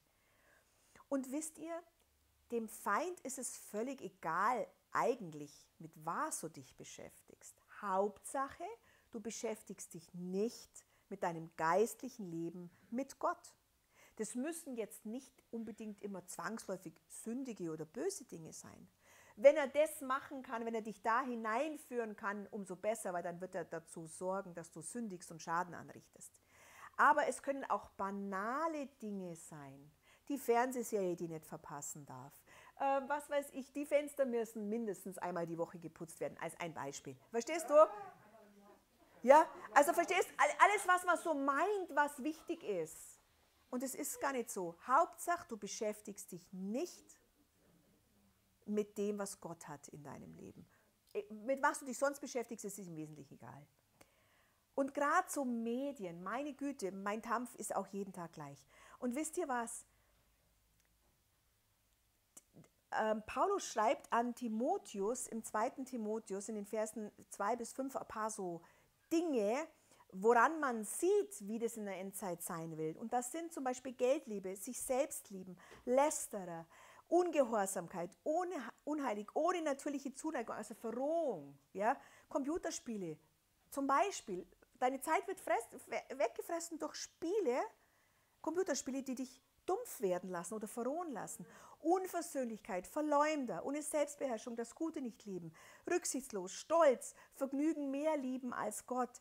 Und eine äußere Form der göttlichen Lebensweise ohne Kraft nennt er auch noch ganz explizit dazu. So tun als ob, aber es hat keine Wirksamkeit. Und jetzt ist die Frage, und der Weg dorthin ist immer schleichend. Und plötzlich bist du entfremdet und du weißt gar nicht, wie es geschehen ist. Es ist nicht so, dass zack, auf einmal, sondern äh, äh, ach, mich freut es nicht mehr so. Ach, ich könnte was anderes machen. Ach, warum soll ich mich? Und warum mir? Und plötzlich bist du irgendwo gelandet und du weißt gar nicht mehr, dass du von deinen Geschwistern losgelassen hast, die dir retten könnten, die für dich beten, die dich versorgen könnten. Und das um das geht Und in die Zeit, in die wir hineingehen, brauchen wir das. Wir brauchen diese, diesen geistlichen Rückhalt. Wisst ihr, als es zu regnen begann, waren nur die Menschen in der Arche, die in der Arche waren. Das klingt jetzt banal. Die, die woanders waren, waren nicht drin. Also wo bist du denn? Bist du im Geist, in der Gemeinde oder bist du in dir? Die Gemeinde wird dir zur Arche, wenn der Sturm kommt. Aber du musst in der Arche drin gewesen sein damit du, wenn der Sturm kommt, einen Halt hast. Noch besser ist, du wirst zur Arche. Dann wird dich niemand mehr wegreißen. Du wirst zur Gemeinde. Du gehst nicht in die Gemeinde, du bist die Gemeinde als ein Teil, als ein Stein. Und das ist das, was das neue Jerusalem sein wird. Wir sind Steine eingebaut. Wir gehen nicht ins neue Jerusalem rein und gehen wieder raus wie Besucher. Nein, wir sind es geworden. Und die Gemeinde ist die Vorstufe. Und ich möchte gern mit äh, Johannes enden, im ersten Johannesbrief, Kapitel 3, von den Versen 10 bis 19, schreibt Johannes ganz kostbare Dinge. Ich werde ein bisschen springen und nicht alle Verse jetzt vorlesen, aber ein paar wichtige Dinge. Jeder, Vers 10, also Anfang, also zweiter Teil, jeder, der nicht Gerechtigkeit tut, ist nicht aus Gott und wer nicht seinen Bruder liebt.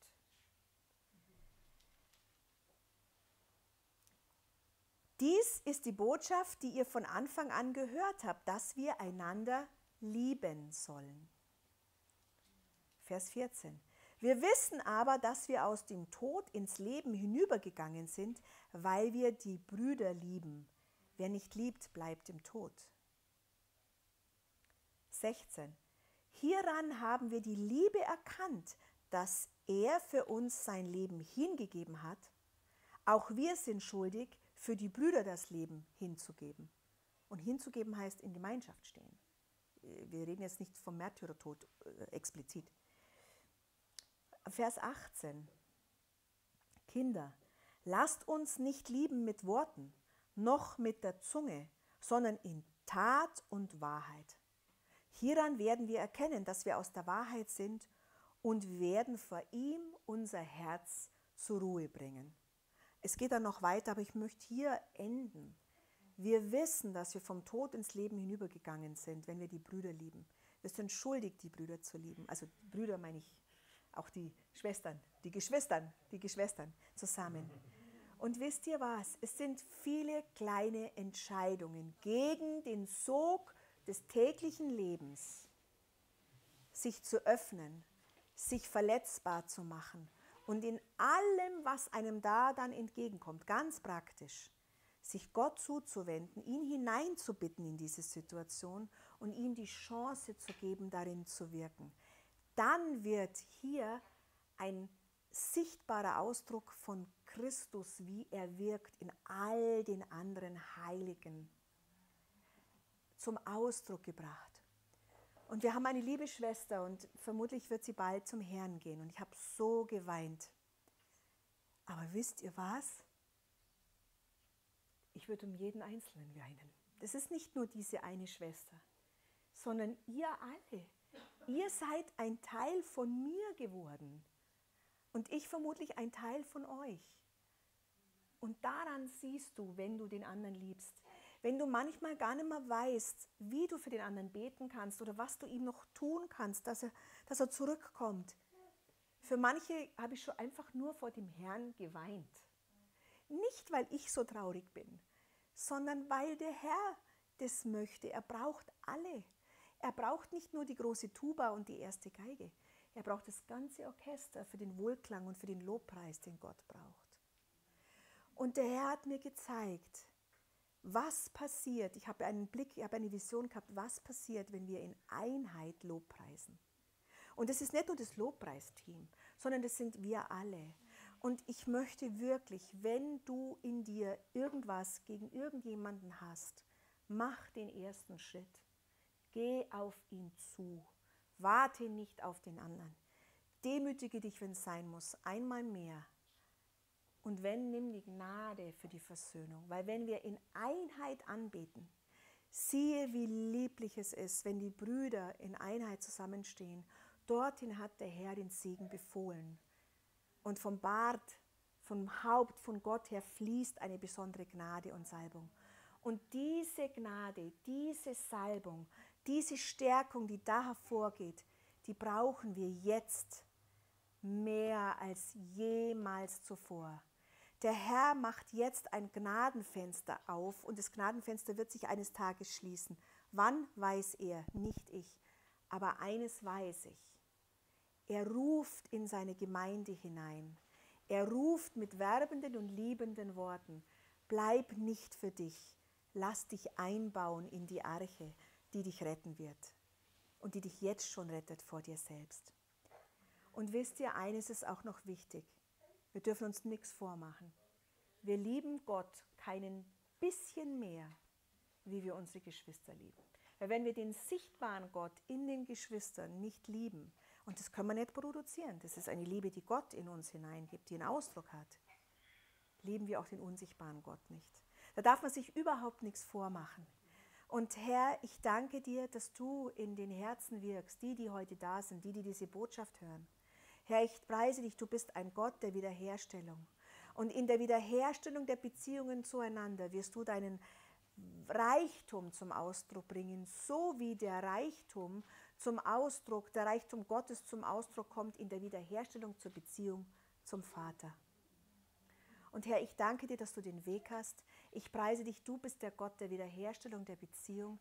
Du bist der Gott, der sein Meisterwerk in der Gemeinde hervorbringt, gebiert, hervorbringt, mit seinem Leben nährt und einen Weg hat und einen Weg hat, den Satan so zu beschämen, weil du etwas hervorbringst, was niemand sonst könnte. Danke, Herr Jesus. Amen. Magst du noch was sagen? Ha? Magst du noch was sagen?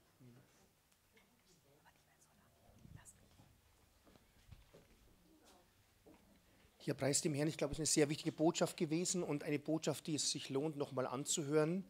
Und wenn ihr sie nochmal anhört als Aufzeichnung, dann nehmt doch ein Blatt Papier und lasst euch vom Heiligen Geist Dinge zeigen, die für euch dran sind. Weil, äh, was hat euch in der Predigt gefallen? Alles. Was wirst du, was wirst du anwenden davon? Die Wahrscheinlichkeit ist groß, nichts.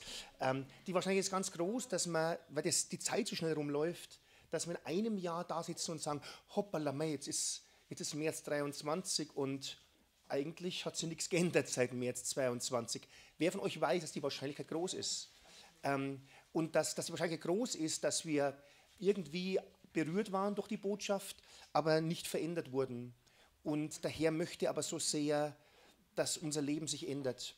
Und ich möchte bloß die, die, die entscheidenden kleinen Punkte, die Silvia angesprochen hat, nochmal zusammenfassen. Nämlich, sie hat gesagt, wo stehst du geistlich am Anfang und bist du echt zufrieden? Oder möchtest du geistlich wachsen? Und es wird einen Preis kosten, es wird Schritte kosten, damit du geistlich wachsen kannst. Es wird nicht automatisch passieren, aber es sind ein paar Sachen genannt, die, die möglich sind und ein paar Sachen, die eigentlich fast unabdingbar sind, die, die, die wichtig sind, dass du sie ganz neu in dein Leben einbaust. Und ja, wenn, man, wenn morgen eine neue Morgenerweckung anfängt, kommen wir nochmal zu dem Thema Morgenerweckung. Weißt du, ein Christ wächst, indem er jeden Tag Gemeinschaft mit Gott hat, im Gebet und im Wort. Nachdenkt über Gott. Und jetzt will ich mich an diejenigen von euch, die nicht sich mit der Morgenerweckung beschäftigen, die möchte ich mal ansprechen. Beschäftigt ihr euch stattdessen mit der aufgeschlagenen Bibel? Ganz ehrlich, ganz, ganz ehrlich. Die Zeit, wo ihr nicht in der Morgenerweckung seid, seid ihr in den Psalmen, im, im Lukas-Evangelium, seid ihr in, in der Bibel drin? Oder, und die Wahrscheinlichkeit ist groß, dass ihr auch statt der Morgenerweckung sonst nichts macht. Weil die Morgenerweckung ist als Hilfe gedacht, vor einer dicken Bibel zu sitzen und nicht zu wissen, was ich heute in der Bibel lese, sondern dich gemeinsam mit den Geschwistern einen gemeinsamen Fluss führen zu lassen, inspirieren zu lassen von, von jemandem, der die Bibel aufs Wesentliche hin schon studiert hat, 70 Jahre seines Lebens, und der die, die Nuggets und die, die, die Schätze herausdestilliert und herausarbeitet. Und dann kannst du das ein oder andere ausgehend noch für dich selber lesen. Aber weißt du, was das Problem ist? Oder die Gefahr groß ist? Wenn du die Morgenerweckung nicht liest und auch sonst nicht die Bibel liest, wirst du geistlich. Wer von euch kann, kann es nachvollziehen, dass du dann nicht wächst? Die Morgenerweckung ist ja nicht gedacht als Ersatz zur Bibel, sondern als Hineinführung in deine stille Zeit mit dem Herrn. Und ihr Lieben, wir haben, wir haben die Geschwindigkeit halbiert seit vielen Jahren, um euch nicht zu überfordern. Wir haben nicht sechs Tage pro Woche, sondern nur drei Tage. Und, und, und, und aus diesem Grunde, es, es ist schaffbar. Weißt du, du musst für dich die Entscheidung treffen, ich möchte sie machen. Und ich möchte dir sagen, selbst wenn du wegen den Kindern nicht mehr dabei sein kannst beim, beim Mitteilen, A, wir werden die Lobpreiszeiten kürzen, heute fängt schon an, vielleicht auch die Predigtzeiten kürzen, wir werden den ganzen Gottesdienst kürzen. Die Frage ist, gehst du dann trotzdem halt eine halbe Stunde eher heim, weil das Mitteilen anfängt und geht es gar nicht um die Zeit wegen den Kindern, sondern geht es eigentlich darum, dass du beim Mitteilen abhauen willst. Ich hoffe nicht, weil wir, wir kürzen die ganze Zeit, damit du beim Mitteilen da sein kannst. Aber selbst wenn du beim Mitteilen nicht da sein kannst, kannst du nicht zu Hause in der ganzen Woche über das mitteilen der anderen, die noch anhören, im Livestream. Und weißt du, es wird dich mehr berühren, wenn du es selber vorher dich befasst hast damit. Wenn du dich nicht damit beschäftigst, wie kann es dich berühren? Also eine ganz, weißt du, Einstein sagte, eine Definition von Wahnsinn ist es, zu glauben, dein Leben ändert sich, wenn alles andere gleich bleibt. Könnt ihr es nachvollziehen? Euer Leben wird nicht anders werden und wir werden nicht geistlich wachsen, wenn sich nichts ändert. Aber was kann sich ändern? Und ein ganz konkreter Punkt ist, fang an, die Morgenerweckung, diese drei Tage Morgenerweckung in deine stille Zeit zu integrieren. Besorg dir die Morgenerweckung und, und, und mach die Morgenerweckung. Und selbst wenn du nicht mehr hier bist und das Mitteilen live mitbekommst, schaust dir in der Aufzeichnung nochmal an, zieh den Regler vom YouTube-Video nach hinten, wo das ist. Im, Im Badezimmer, wenn du dich herrichtest, nutz die Zeiten, die du ohnehin hast. Und damit kommen wir zu einem ganz wichtigen weiteren Punkt, weil die Silvia sagte, der Tag von Paulus war auch voll und jeder Tag ist voll. Ohne Prioritäten setzen, ohne Weichenstellungen wird sich gar nichts ändern. Der Tag wird sich von selber füllen. Habt ihr schon mal gemerkt? Abends wird es von selber. Der Tag, die Woche, das Jahr geht von selber rum.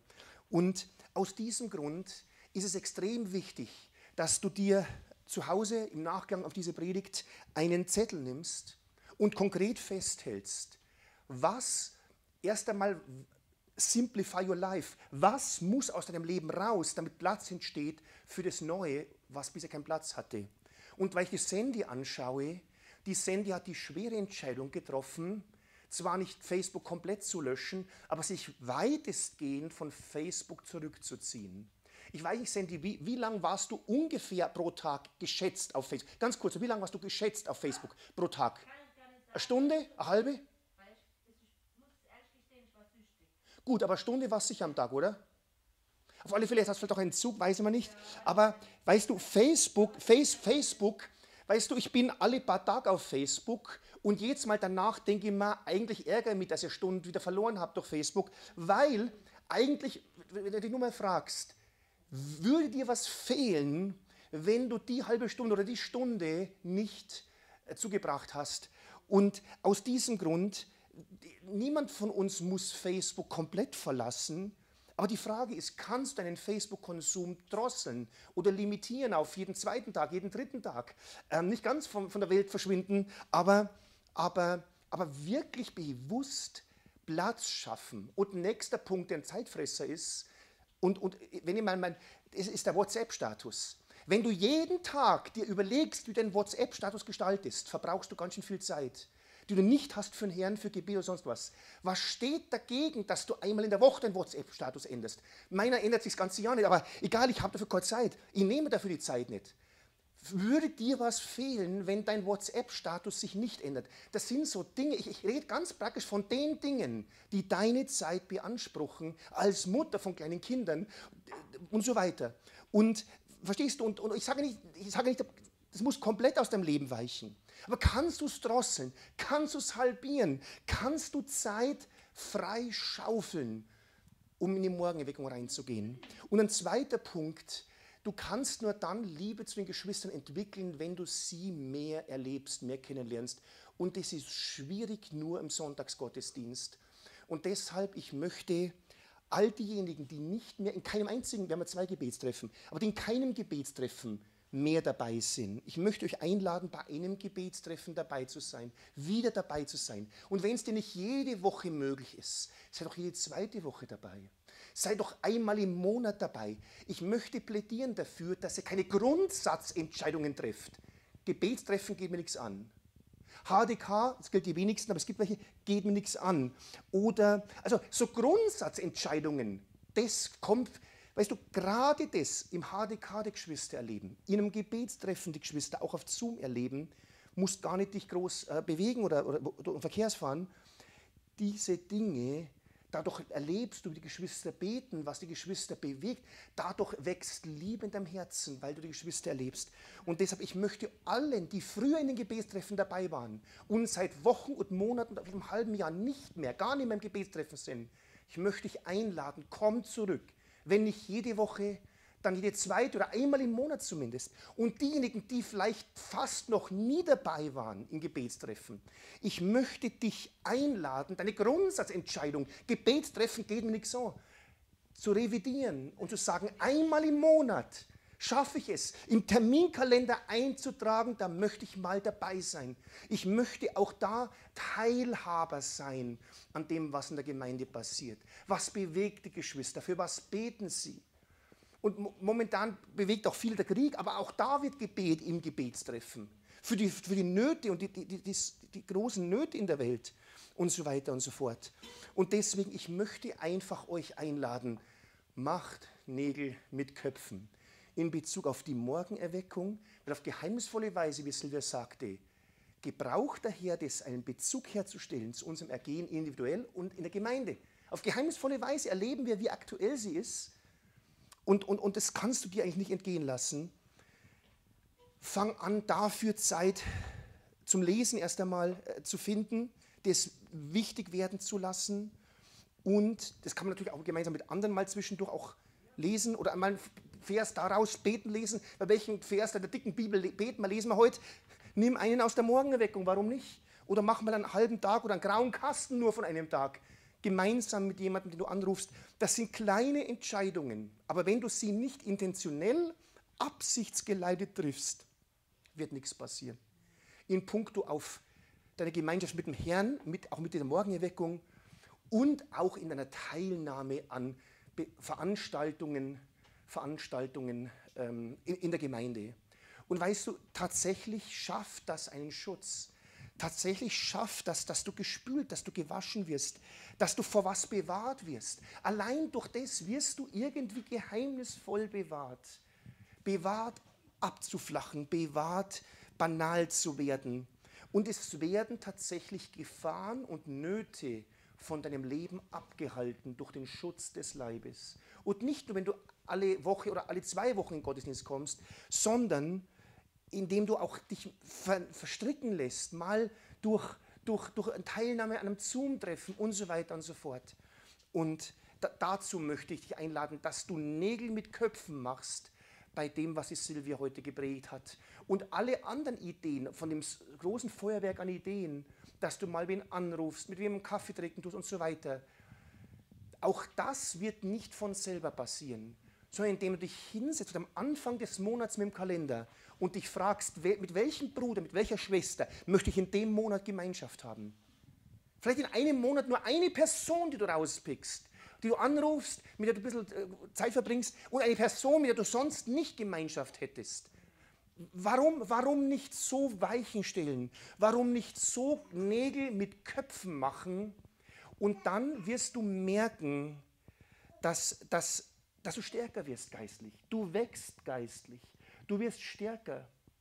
Und wirklich, verbanne Dinge aus deinem Leben oder reduziere Dinge in deinem Leben, die gar nicht so wichtig sind und die dich gar nicht so glücklich machen, die du aber als Gewohnheit machst und dir ein Leben anfüllen. Ich meine, ich zum Beispiel schaue mir einfach seit einigen Jahren keine Filme mehr an, keine Kinofilme keine Spielfilme mehr an. Nicht, weil nicht was Interessantes mal dabei wäre, sondern weil, weil ich mir die Zeit nicht nehmen möchte, die mir dann fehlt für, für, für Sachen mit dem Herrn oder mit den Geschwistern oder sonst was. Und tatsächlich fehlt mir gar nicht so viel. Einmal haben wir so einen Monat Prime gehabt, wo man dann also die Filme anschauen kann. Manche haben ja Netflix und so weiter. Und in dem Monat habe ich mich fast gezwungen, mir, mir Spielfilme anzuschauen. Und ehrlich gesagt, es hat mir nicht weder gut getan, noch, noch was gebracht, noch sonst was. Ich bin mir zurückgekehrt, nachdem, ich war direkt froh, nachdem das Prime-Abo wieder weg war. Ich war froh, dass ich wieder zurückkehren kann zu meiner Abstinenz von den Dingen, ohne die ich sehr gut leben kann. Du kannst mit ganz vielen Dingen, die du jetzt noch tust, sehr gut leben und glücklich sein und die stärken dich gar nicht. Aber fang an, die Dinge zu tun und zu leben, die dich glücklich machen, die dich stärken, die dich für die schweren Zeiten, die uns allen ins Haus stehen, das merken wir doch, die Zeiten werden nicht besser, zurüsten und gründen. Wirklich, versteht das nicht als, als, als ein Appell oder als, als, als, als, als ich möchte einen Lebensstil ändern. Ja, Gott will unseren Lebensstil ändern. Hin zum Guten. Amen. Danke, Herr. Einer für alle und alle für einen. Das ist die Familie Gottes. Jeder ist gleich wertvoll. Alle sind gleich wichtig. Einer für alle und alle für einen.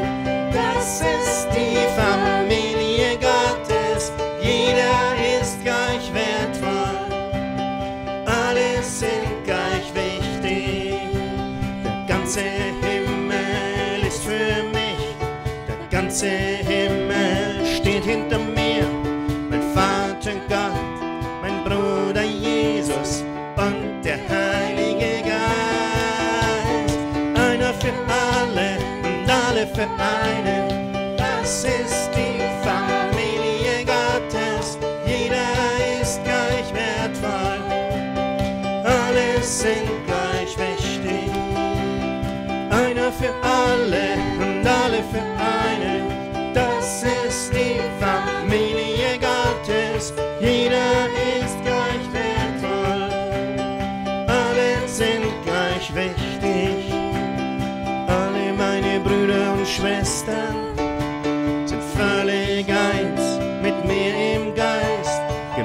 Gemeinsam sind wir stark genug, die ganze Welt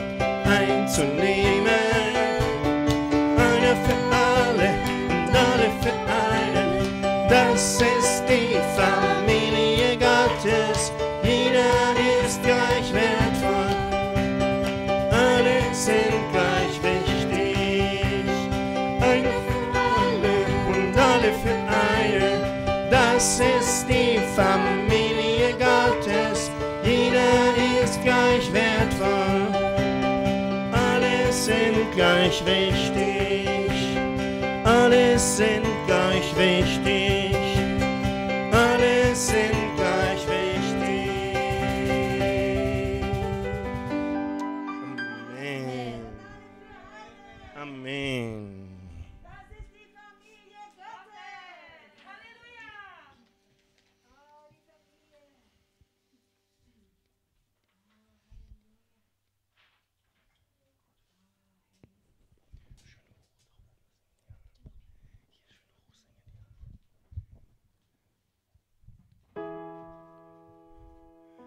Deine Liebe ist meine Stärke.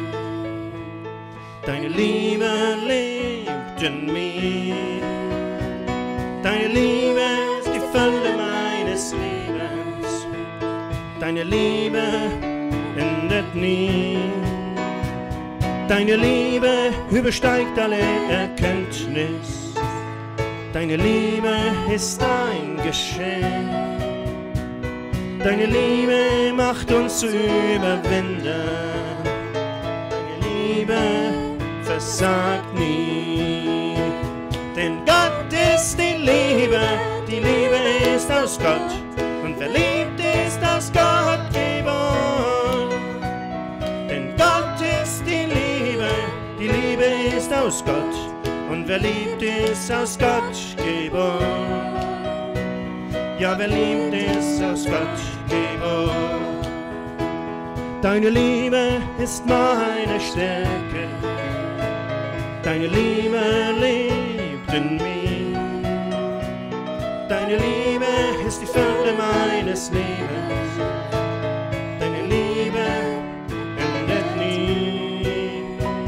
Deine Liebe übersteigt alle Erkenntnis. Deine Liebe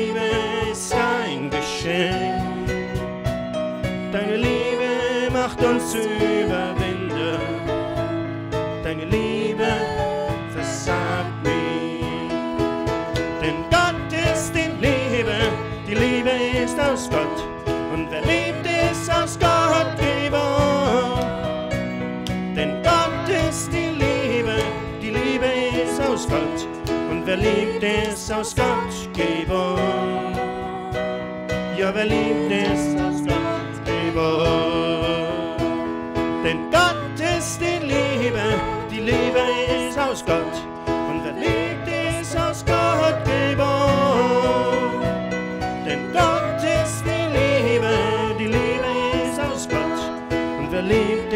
Ist aus Gott geboren.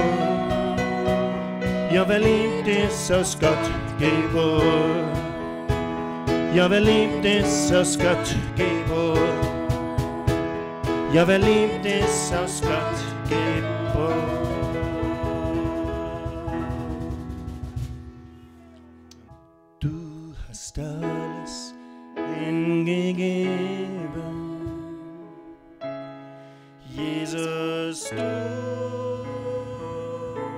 gabst uns dein Leben.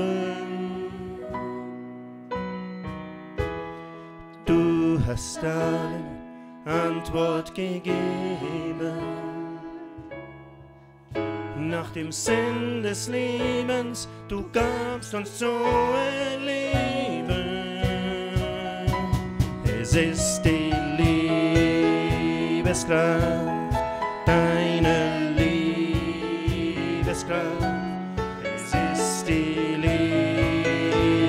Liebeskraft, die Leben schafft.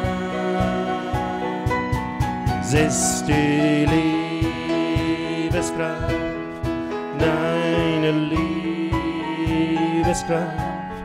Es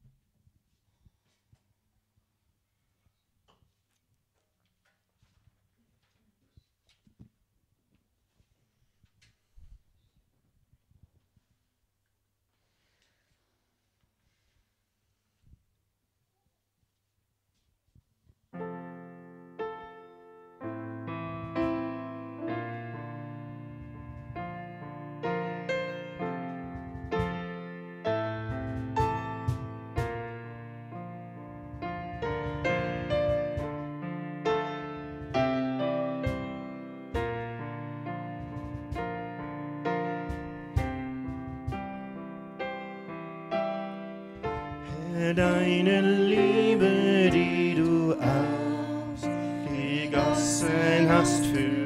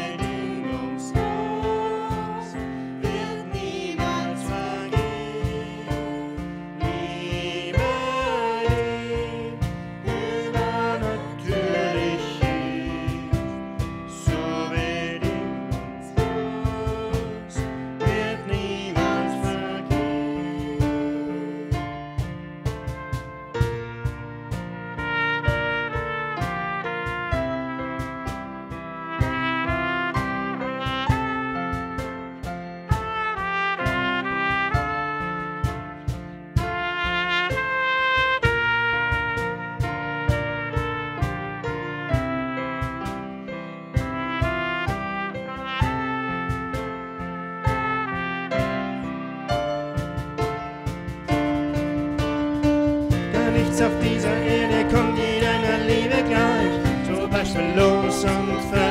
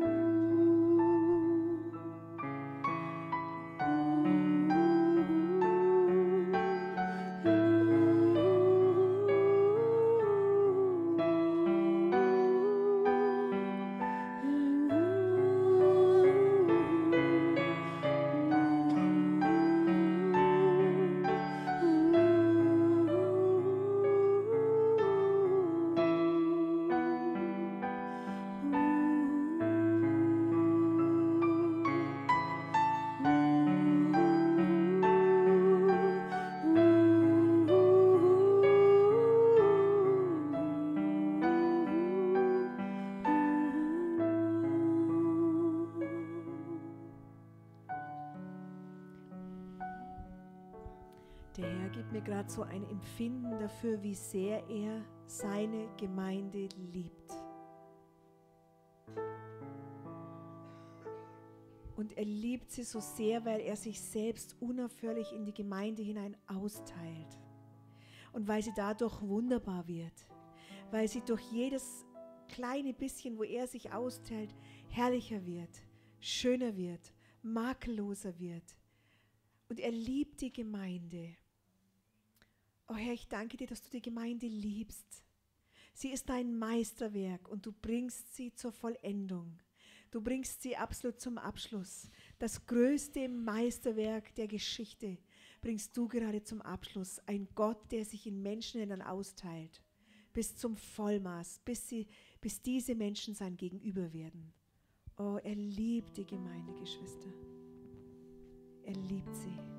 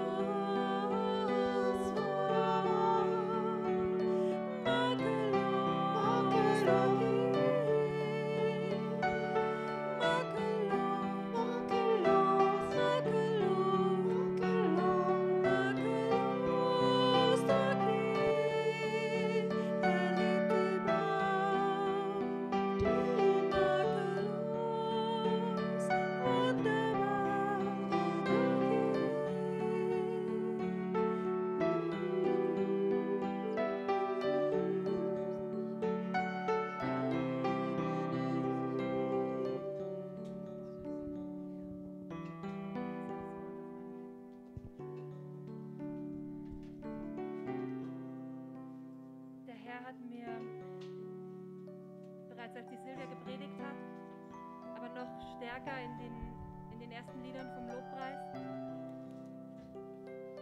einen Blick erlaubt in das, in das Herz einer Person und vielleicht ist es das Herz mehrerer Personen.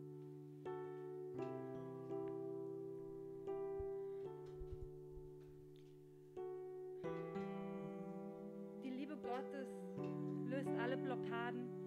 Die Liebe Gottes macht frei für den Liebesstrom, sind Dinge, die du weißt. All das sind Dinge, die du sogar schon erlebt hast, die du gelebt hast und geliebt hast, die dein Leben waren. Und plötzlich singst du diese Lieder und sie klingen dumpf und sie klingen leer. Und es ist plötzlich schwer, Gott anzubeten. Und es wird von Tag zu Tag und von Woche zu Woche schwerer. Und du fühlst dich ferner.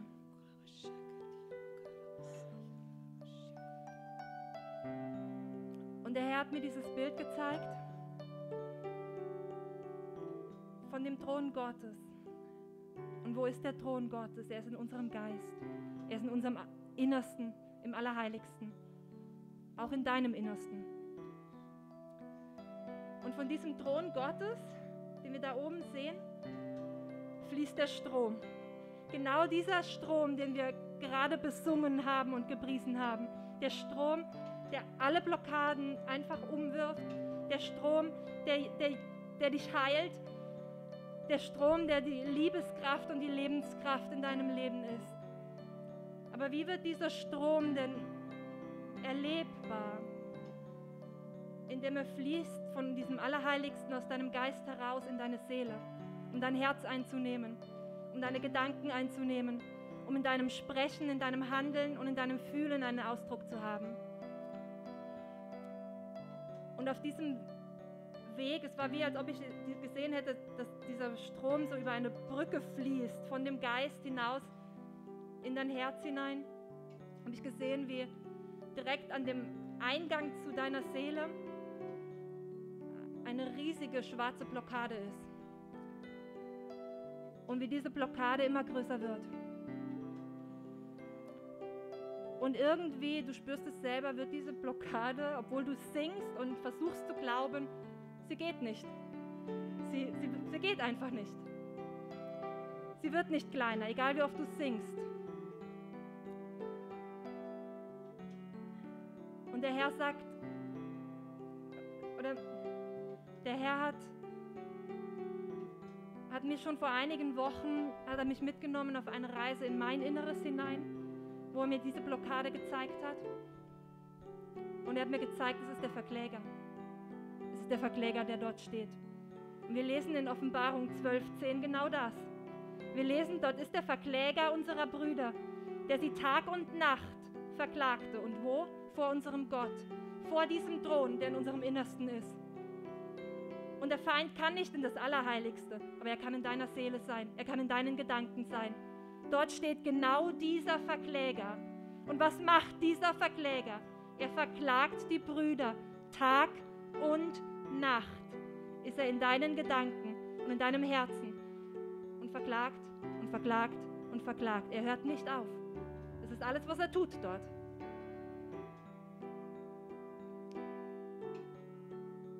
Aber du hast die Autorität, diesem Verkläger den Mund zu verbieten. Denn dieser Verkläger ist bereits besiegt. Dieser Verkläger ist bereits besiegt und du hast die Autorität, ihm den Mund zu verbieten. Und ich, ich weiß es, weil der Herr mich mitgenommen hat auf diese Reise. Bei jedem Gedanken, der am Anfang vielleicht nur eine kleine Meinung ist, ein kurzes Stirnrunzeln, ein kurzes... Uh, jedes Mal ist es der Verkläger. Jedes Mal ist es der, der die Brüder verklagt. Oder geben wir doch dem Bruder vielleicht einen Namen. Es ist jedes Mal, ach Michael. Es ist jedes Mal, macht der schon wieder. Was macht er schon wieder? Es ist jedes Mal das Stirnrunzeln. Es ist jedes Mal, ach Michael.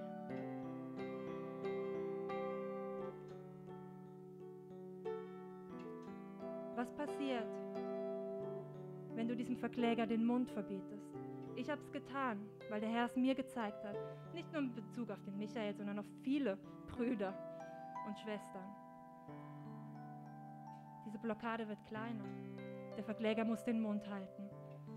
Und die Bibel sagt uns sogar, was passiert, wenn wir das tun, wenn es Realität wird, Tag für Tag mehr.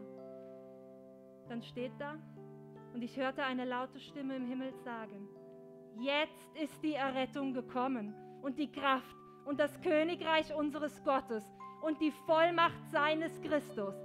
Denn der Verkläger unserer Brüder, der sie Tag und Nacht vor unserem Gott verklagte, ist hinabgeworfen worden. Und das ist die Realität, die wir sehen im Himmel, wenn, wenn die Überwinder bereits in den Himmel entrückt sind. Aber der Herr hat zu mir gesagt, es ist die Realität, die ich möchte, dass du sie jeden Tag in deinem Geist aufbaust. Es ist die Realität, von der ich möchte, dass sie jeden Tag in dir bereits real ist. Das, was in Ewigkeit sein wird, soll heute bereits in dir sein. Und das möchte ich heute dir sagen. Oder wenn es mehrere Personen betrifft, euch sagen. Ihr habt die Autorität, dem Verkläger den Mund zu verbieten. Und vielleicht habt ihr eben der Predigt zugehört von der Silvia und habt gedacht, wie soll das gehen? Ich will die Gnade nicht mal. Ich will die Gnade nicht mal nehmen, um den ersten Schritt zu machen. Ich will die Gnade nicht mal nehmen, um, um, die Versö um Versöhnung zu beten. Ich will die Gnade nicht mal nehmen, um für diesen Bruder oder diese Schwester zu beten. Dann beginn hiermit. Beginn damit, dem Verkläger den Mund zu verbieten. Jedes Mal. Und du wirst sehen, dass dieser Strom jeden Tag neue Wellen bringt. Neue Wellen bringt, dass er wieder stärker wird. Und dass irgendwann der Verkläger so klein ist, dass der Strom ungehindert fließen kann. Dass er, dass er einfach hinabgeworfen wird, dieser Verkläger. Er ist vielleicht in der Realität im Himmel noch nicht hinabgeworfen, aber er kann in dir, in deinem Innersten hinabgeworfen werden. Und das ist die Entscheidung, die du jeden Tag treffen kannst. Das ist die Autorität, die du jeden Tag nehmen kannst. Verkläger, halte den Mund. Du hast hier nichts zu suchen. Hier regiert Gott. Hier ist das Königreich Gottes. Das Königreich unseres Gottes und die Vollmacht seines Christus. Und wenn du möchtest, dass ich jetzt bete für dich, dann komm einfach nach vorn. Wenn du das selber machen möchtest, ist es auch in Ordnung. Aber wenn du jetzt den Leib in Anspruch nehmen möchtest, dann komm nach vorne, ich bete für dich.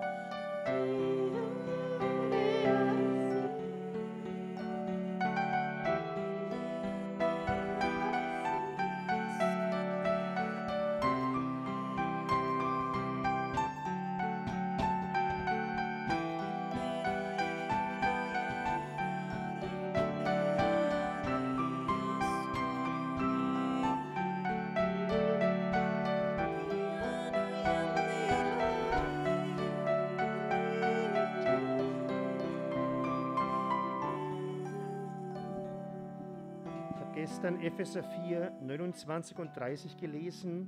Mir ist zum ersten Mal der Kontext aufgefallen, dass hier ein direkter Zusammenhang besteht, was den Heiligen Geist betrübt, nämlich das, was im Vers davor steht.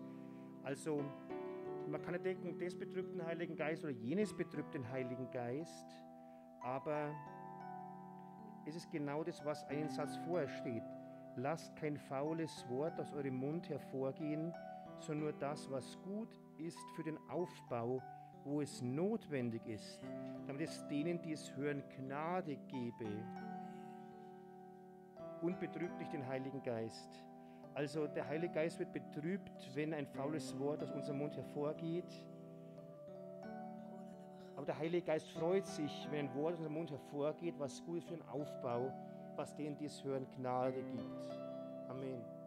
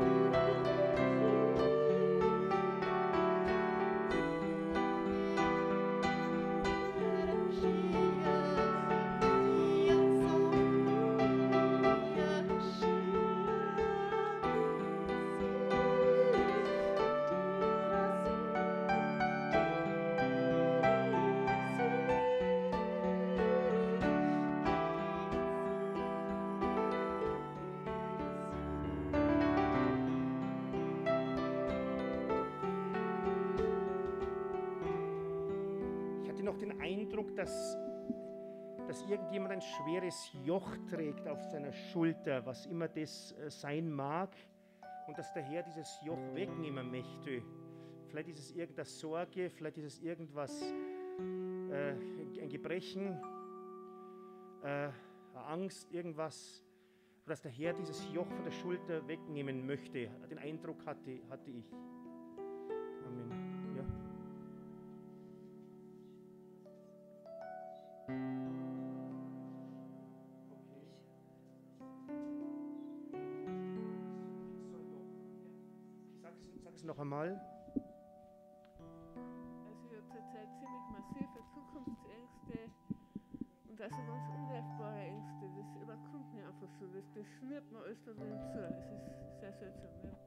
Okay, ja. Ja. Okay, das ist wie ein Joch und das Joch wird von dir genommen. Halleluja. Der hat gesagt, darf ich jemand bitten, vielleicht Hans, magst du da bitte kommen? Genau, das zieht dich zusammen. Okay. Genau. Schau es dir einfach an, in Jesu Christi Namen. Danke, Heiliger Geist, du hast es ge gezeigt, dass du ein, ein Joch äh, durch deine Salbung, durch, deine, den Heiligen Geist ein Joch, wegnehmen möchtest von der Schulter, von eine, Last, eine Last von, von Zukunftsangst, von Ängsten in Jesu Christi Namen. Und das, ist, das kommt vom Feind, das ist nicht vom Herrn. Der Herr hat dein Leben schon mal bewahrt und er wird es weiterhin bewahren. Aber im Namen Jesu Christi nehmen wir Autorität, nehme ich jetzt Autorität, schau mich jetzt an. Ich nehme Autorität über alles, was der Feind dir auferlegt hat. Es muss dein Leben jetzt verlassen, es muss dein Denken, dein Fühlen verlassen. Auch der, der Fokus, Fokus auf das Negative in Jesu Christi Namen. Ich, ich, ich erkläre, dass sich dein, dein, dein Fokus umpolt, wieder auf das Gute, auf die Güte Gottes, wie gut der Herr ist, wie treu der Herr ist und nimm auf das Negative, auch von den Medien, von den Nachrichten, von der Gesellschaft, in Jesu Christi Namen. Der Herr ist und bleibt gütig und treu in deinem Leben. Er liebt dich. Er hat nichts als Liebe und Güte für dich. Im Namen Jesu. Sag einfach, ich sage mich jetzt los, wo ich mich geöffnet habe. Wo ich mich geöffnet habe.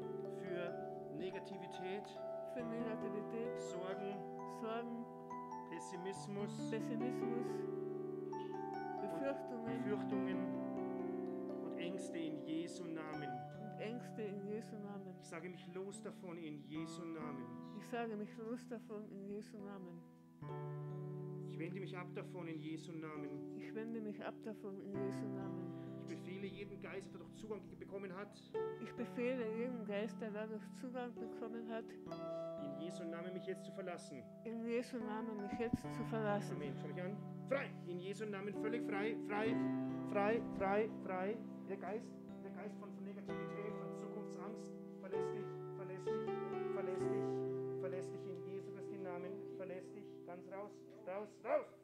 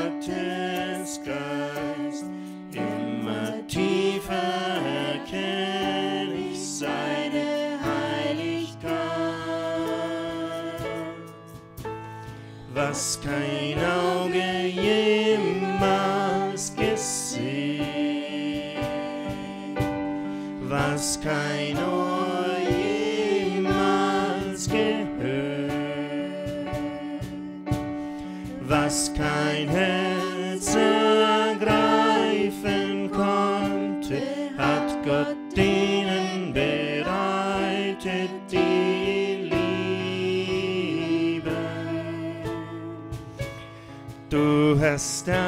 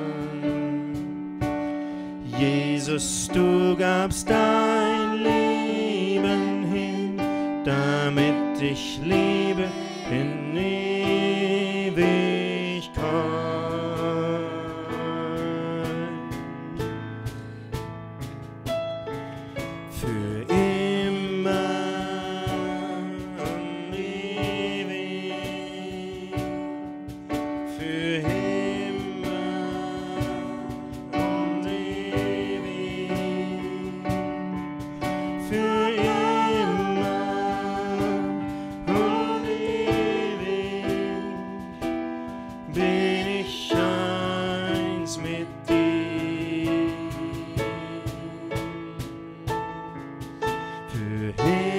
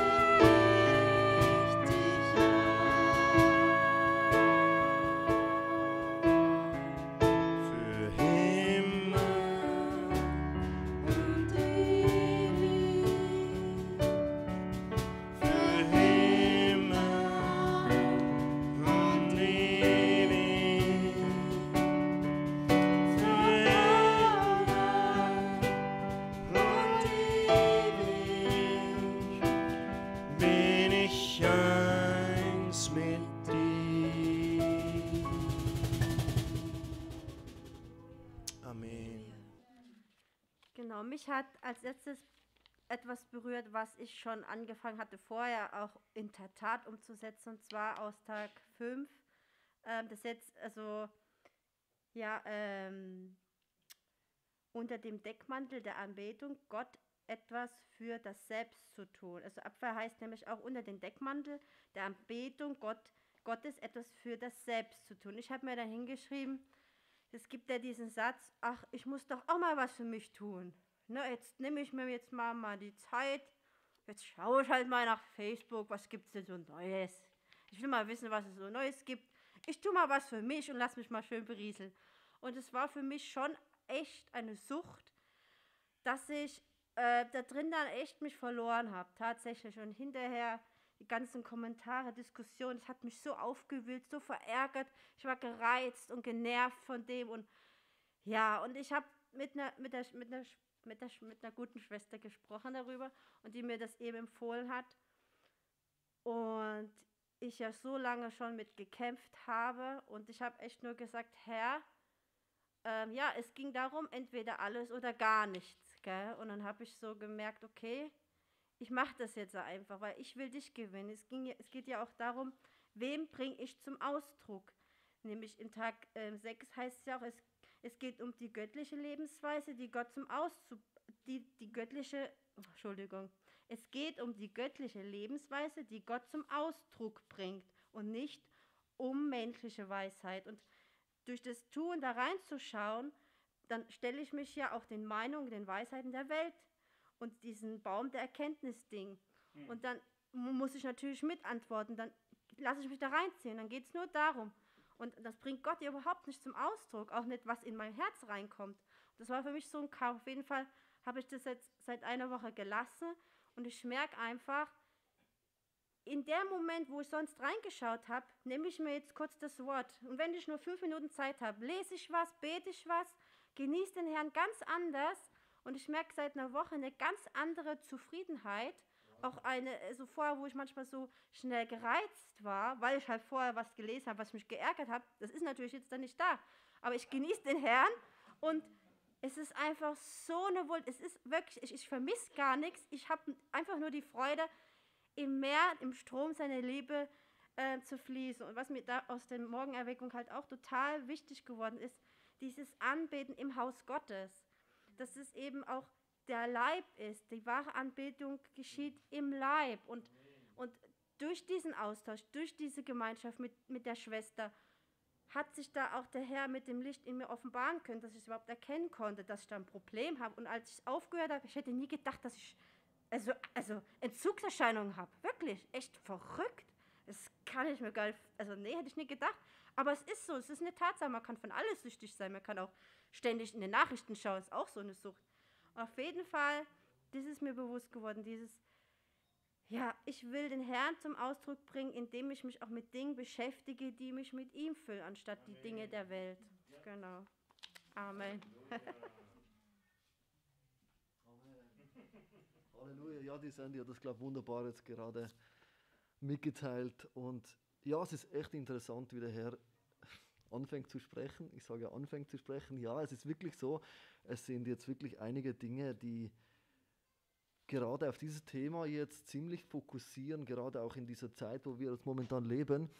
Ähm, die Predigt von der Silvia heute mit der Morgenerweckung und dann, äh, ich weide noch mit dem Timotheus das äh, Geheimnis Christi.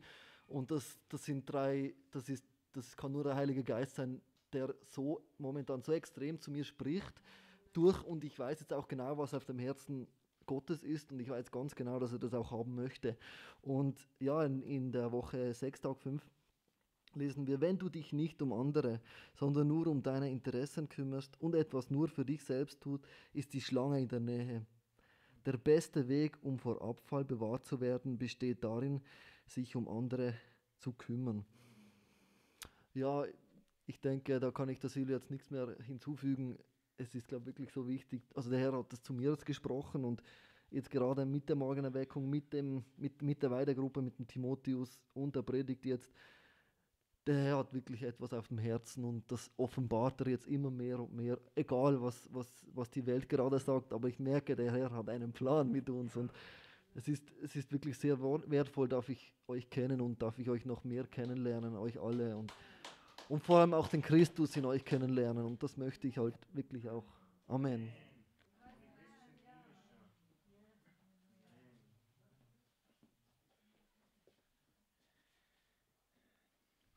Ja, der, der Herr will, will seinen Leib. Und was der Feind dagegen setzt, ist eben Spaltung. Wenn Spaltung gibt, genau, dann gibt es viele Stücke, aber es gibt nicht den Leib. Es gibt nicht den einen neuen Menschen. Es gibt nicht die eine Braut. Es gibt nicht das, das eine Jerusalem. Und durch Gewalt, Krieg, Hass, ja, spaltet der Feind auch, auch durch Angst, eben das eine, eigene haben zu wollen. Äh, wir, wir lesen hier, äh, die, die unlautere Motivation von Dan war, dass eben äh, sein, sein, sein Reich käme zurück zum Haus Davids zurück. Nicht? Er, er wollte nicht diese, diese Abhängigkeit, sondern er, er wollte sein ei- eigenes Ding. Und er war geleitet eben äh, durch, durch diese Angst, genau, gab aber ja schön, schön vor, eben der Deckmantel ähm, der Anbetung. Aber wenn, wenn die Motive falsch sind, ähm, dann schreibt er hier auch, ja, dann, dann, dann ist die, die Schlange dahin, dahinter. Ähm, also ein, eigentlich wie, ja, wie, wie per- pervers ist das? Ähm, oh Herr Jesus, oh Herr Jesus, ja, du, ähm, du, du willst den Leib. Ähm, ich glaube, es geht um, um die Mo- Motivation und die Motivation ist die Liebe.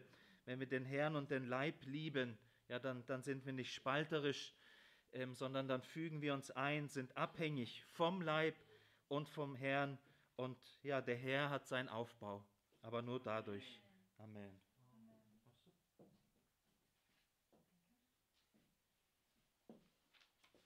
Nein, ich.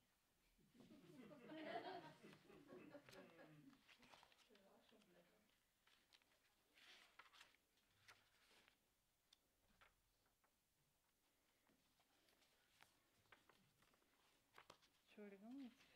Ah, jetzt. Ja.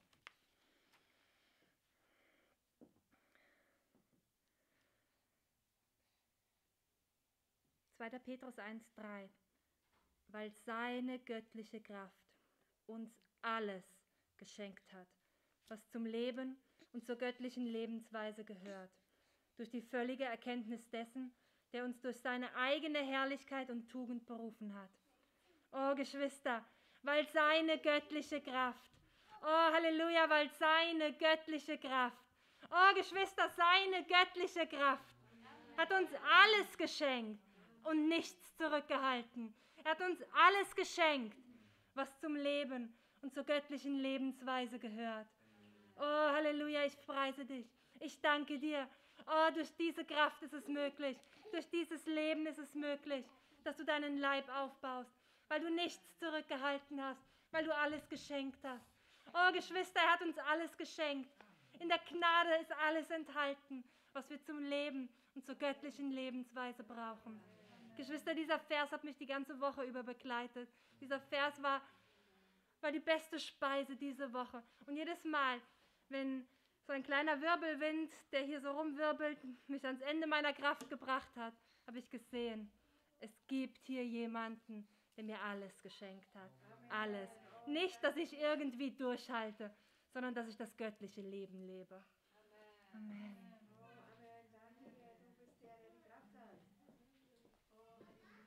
Ganz genau. Petrus hat den zweiten Brief geschrieben in der Zeit des Niedergangs und des Abfalls der Gemeinde. Und seine Last war, dass er den Gläubigen gegen das Gift des Abfalls impft. Denn der, Abfall lenkt die Gläubigen von der Ökonomie Gottes ab, indem er sie in die menschliche Logik rätselhafter Philosophien führte. Und es gab kein Ausüben des Teilhabens am Baum des Lebens, der Leben gibt, sondern es gab die Teilnahme am Baum der Erkenntnis, der den Tod herbeiführt. Und gegen dieses Todesgift zu, zu impfen, verordnete Petrus in seinem heilenden Brief zuerst die göttliche Kraft als das stärkste und wirksamste Gegenmittel. Und da hat er geschrieben in 2. Petrus 1,3, weil seine göttliche Kraft uns alles geschenkt hat, was zum Leben und zur göttlichen Lebensweise gehört. Durch die völlige Erkenntnis von ihm, der uns durch seine eigene Herrlichkeit und Tugend berufen hat. Und wie Julia schon so gesagt hat, er hat uns alles geschenkt und geschenkt hast, dass er sich selbst in uns hineingegeben hat. Er hat sich in unseren Geist infundiert und wir haben sein Leben in uns. Diesen allumfassenden, lebengebenden Geist, der lebt in uns. Und Petrus war so ein Zeuge von dem, von der Allmacht Gottes, von Gottes Herrlichkeit.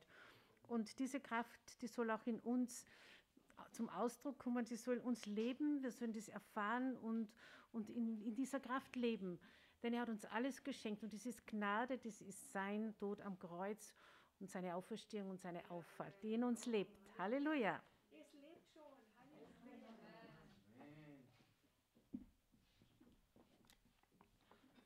Mich hat auch ganz besonders der sechste Tag berührt, weil seine göttliche Kraft uns alles geschenkt hat, was zum Leben und zur göttlichen Lebensweise gehört. Das ist, es ist ein solches Geschenk, das unfassbar ist. Und diese reiche göttliche Versorgung, die in allen Einzelheiten in den, äh, erwähnt wird und behandelt wird, ist mehr als ausreichend, um uns zu befähigen, ein angemessenes Christenleben zu führen. Und, und das Wort beschenkt, geschenkt, ist uns hineingegeben. Das wird uns infundiert und eingepflanzt.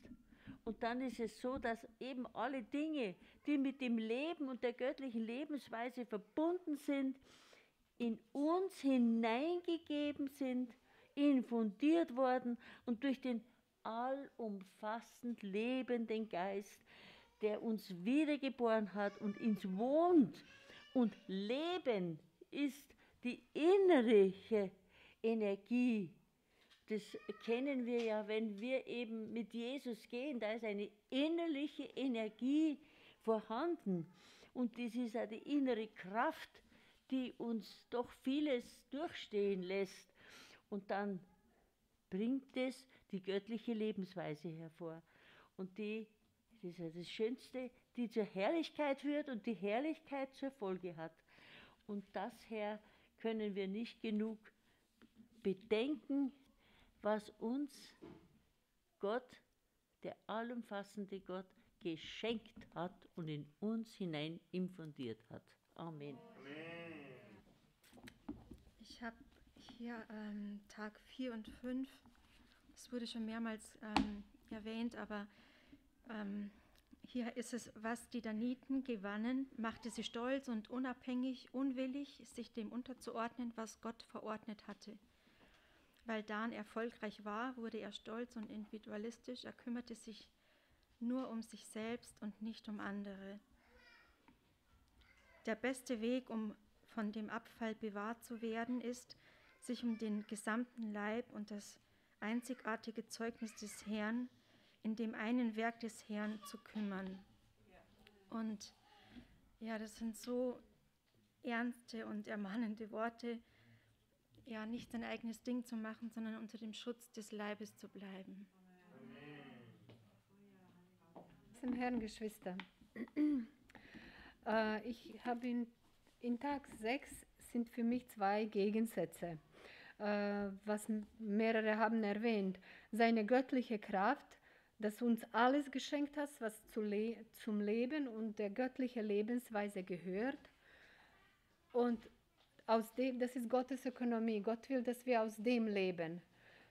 Und das ist so überreich, so groß, braucht man wirklich nichts. Aber auf andere Seite, und das ist auch Baum des Lebens, aber auf andere Seite ist mir äh, so groß geworden, wie man schnell ab, abweicht von dem. Wir wollen alle äh, nach Gottes Weg gehen und Gottes, äh, aus Gottes Kna Kraft und Gnade zu leben. Aber wie schnell wir, wir äh, in diese menschliche menschliche Logik rätselhafter Philosophien abweichen. Wie das schnell passiert, wie, wie wir schnell in unsere, unsere eigene Verstand nach, nachdenken über, über Dinge, über, dann hat man unsere Meinung, hat, wollen wir etwas Besonderes bringen, wollen wir etwas äh, bee andere beeindrucken, wollen wir einfach etwas aus sich produzieren, eigene Kraft, aus eigener aus eigener Stärke. Und wie, da, wie das gefährlich für, für uns das ist, egal ob wir Morgenerweckung lesen oder Bibel lesen, egal. Und das ist wirklich so gefährlich für uns. Äh, Und deswegen ist so wichtig, dass man, dass man äh, erkennen, wann, wann, Geist, wann wir im Geist sind, wann nicht. Weil sonst, sonst denken wir, wir, wir sind äh, wie beim Baum des Lebens und essen vom Baum des Lebens, aber eigentlich essen wir vom Baum, äh, Baum der Erkenntnis. Und dann sind wir in Tod. Und das ist so, so wichtig zu erkennen. Unterschied. Und Herr, hab, du bist der Weg, dass du das in uns vollbringst, dass wir jeder so starke Unterscheidungskraft bekommt, dass jeder erkennt, dass nur vom Baum des Lebens Leben fließt, dass das in diese Fließen von Thron so präsent ist, dass jeder unverwechselbar spüren kann. Amen. Die Brigitte hat was geschickt.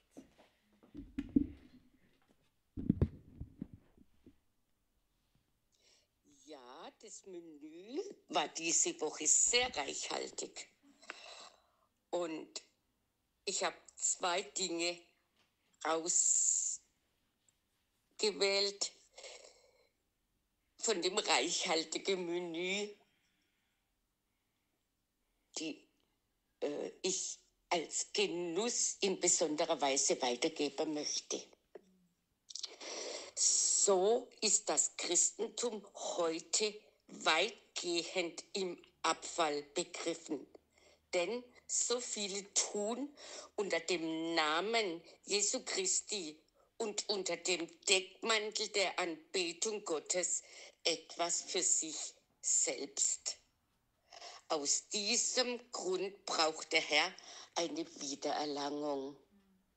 Ja, für mich war das eine sehr, sehr ernste Anfrage an mich selber. Warum tue ich was? Tue ich es für den Herrn oder tue ich es für mich?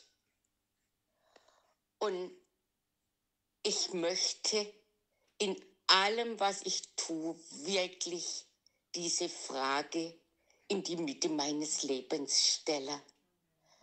Dass alles, was ich tue, Jesus groß macht und nicht mich. Das ist mir eine ganz ernste Angelegenheit und ich bitte dich, Herr Jesus, schenk mir die Gnade zu erkennen, warum tue ich was. Dann möchte ich noch kurz auf Tag 6 kommen. Da heißt es, das Wort geschenkt bedeutet hineingeben, infundiert, eingepflanzt. Alle Dinge, die mit dem Leben und der göttlichen Lebensweise verbunden sind, sind in uns hineingegeben, in uns hineinfundiert worden durch den allumfassenden, lebengebenden Geist, der uns wiedergeboren hat und in uns wohnt.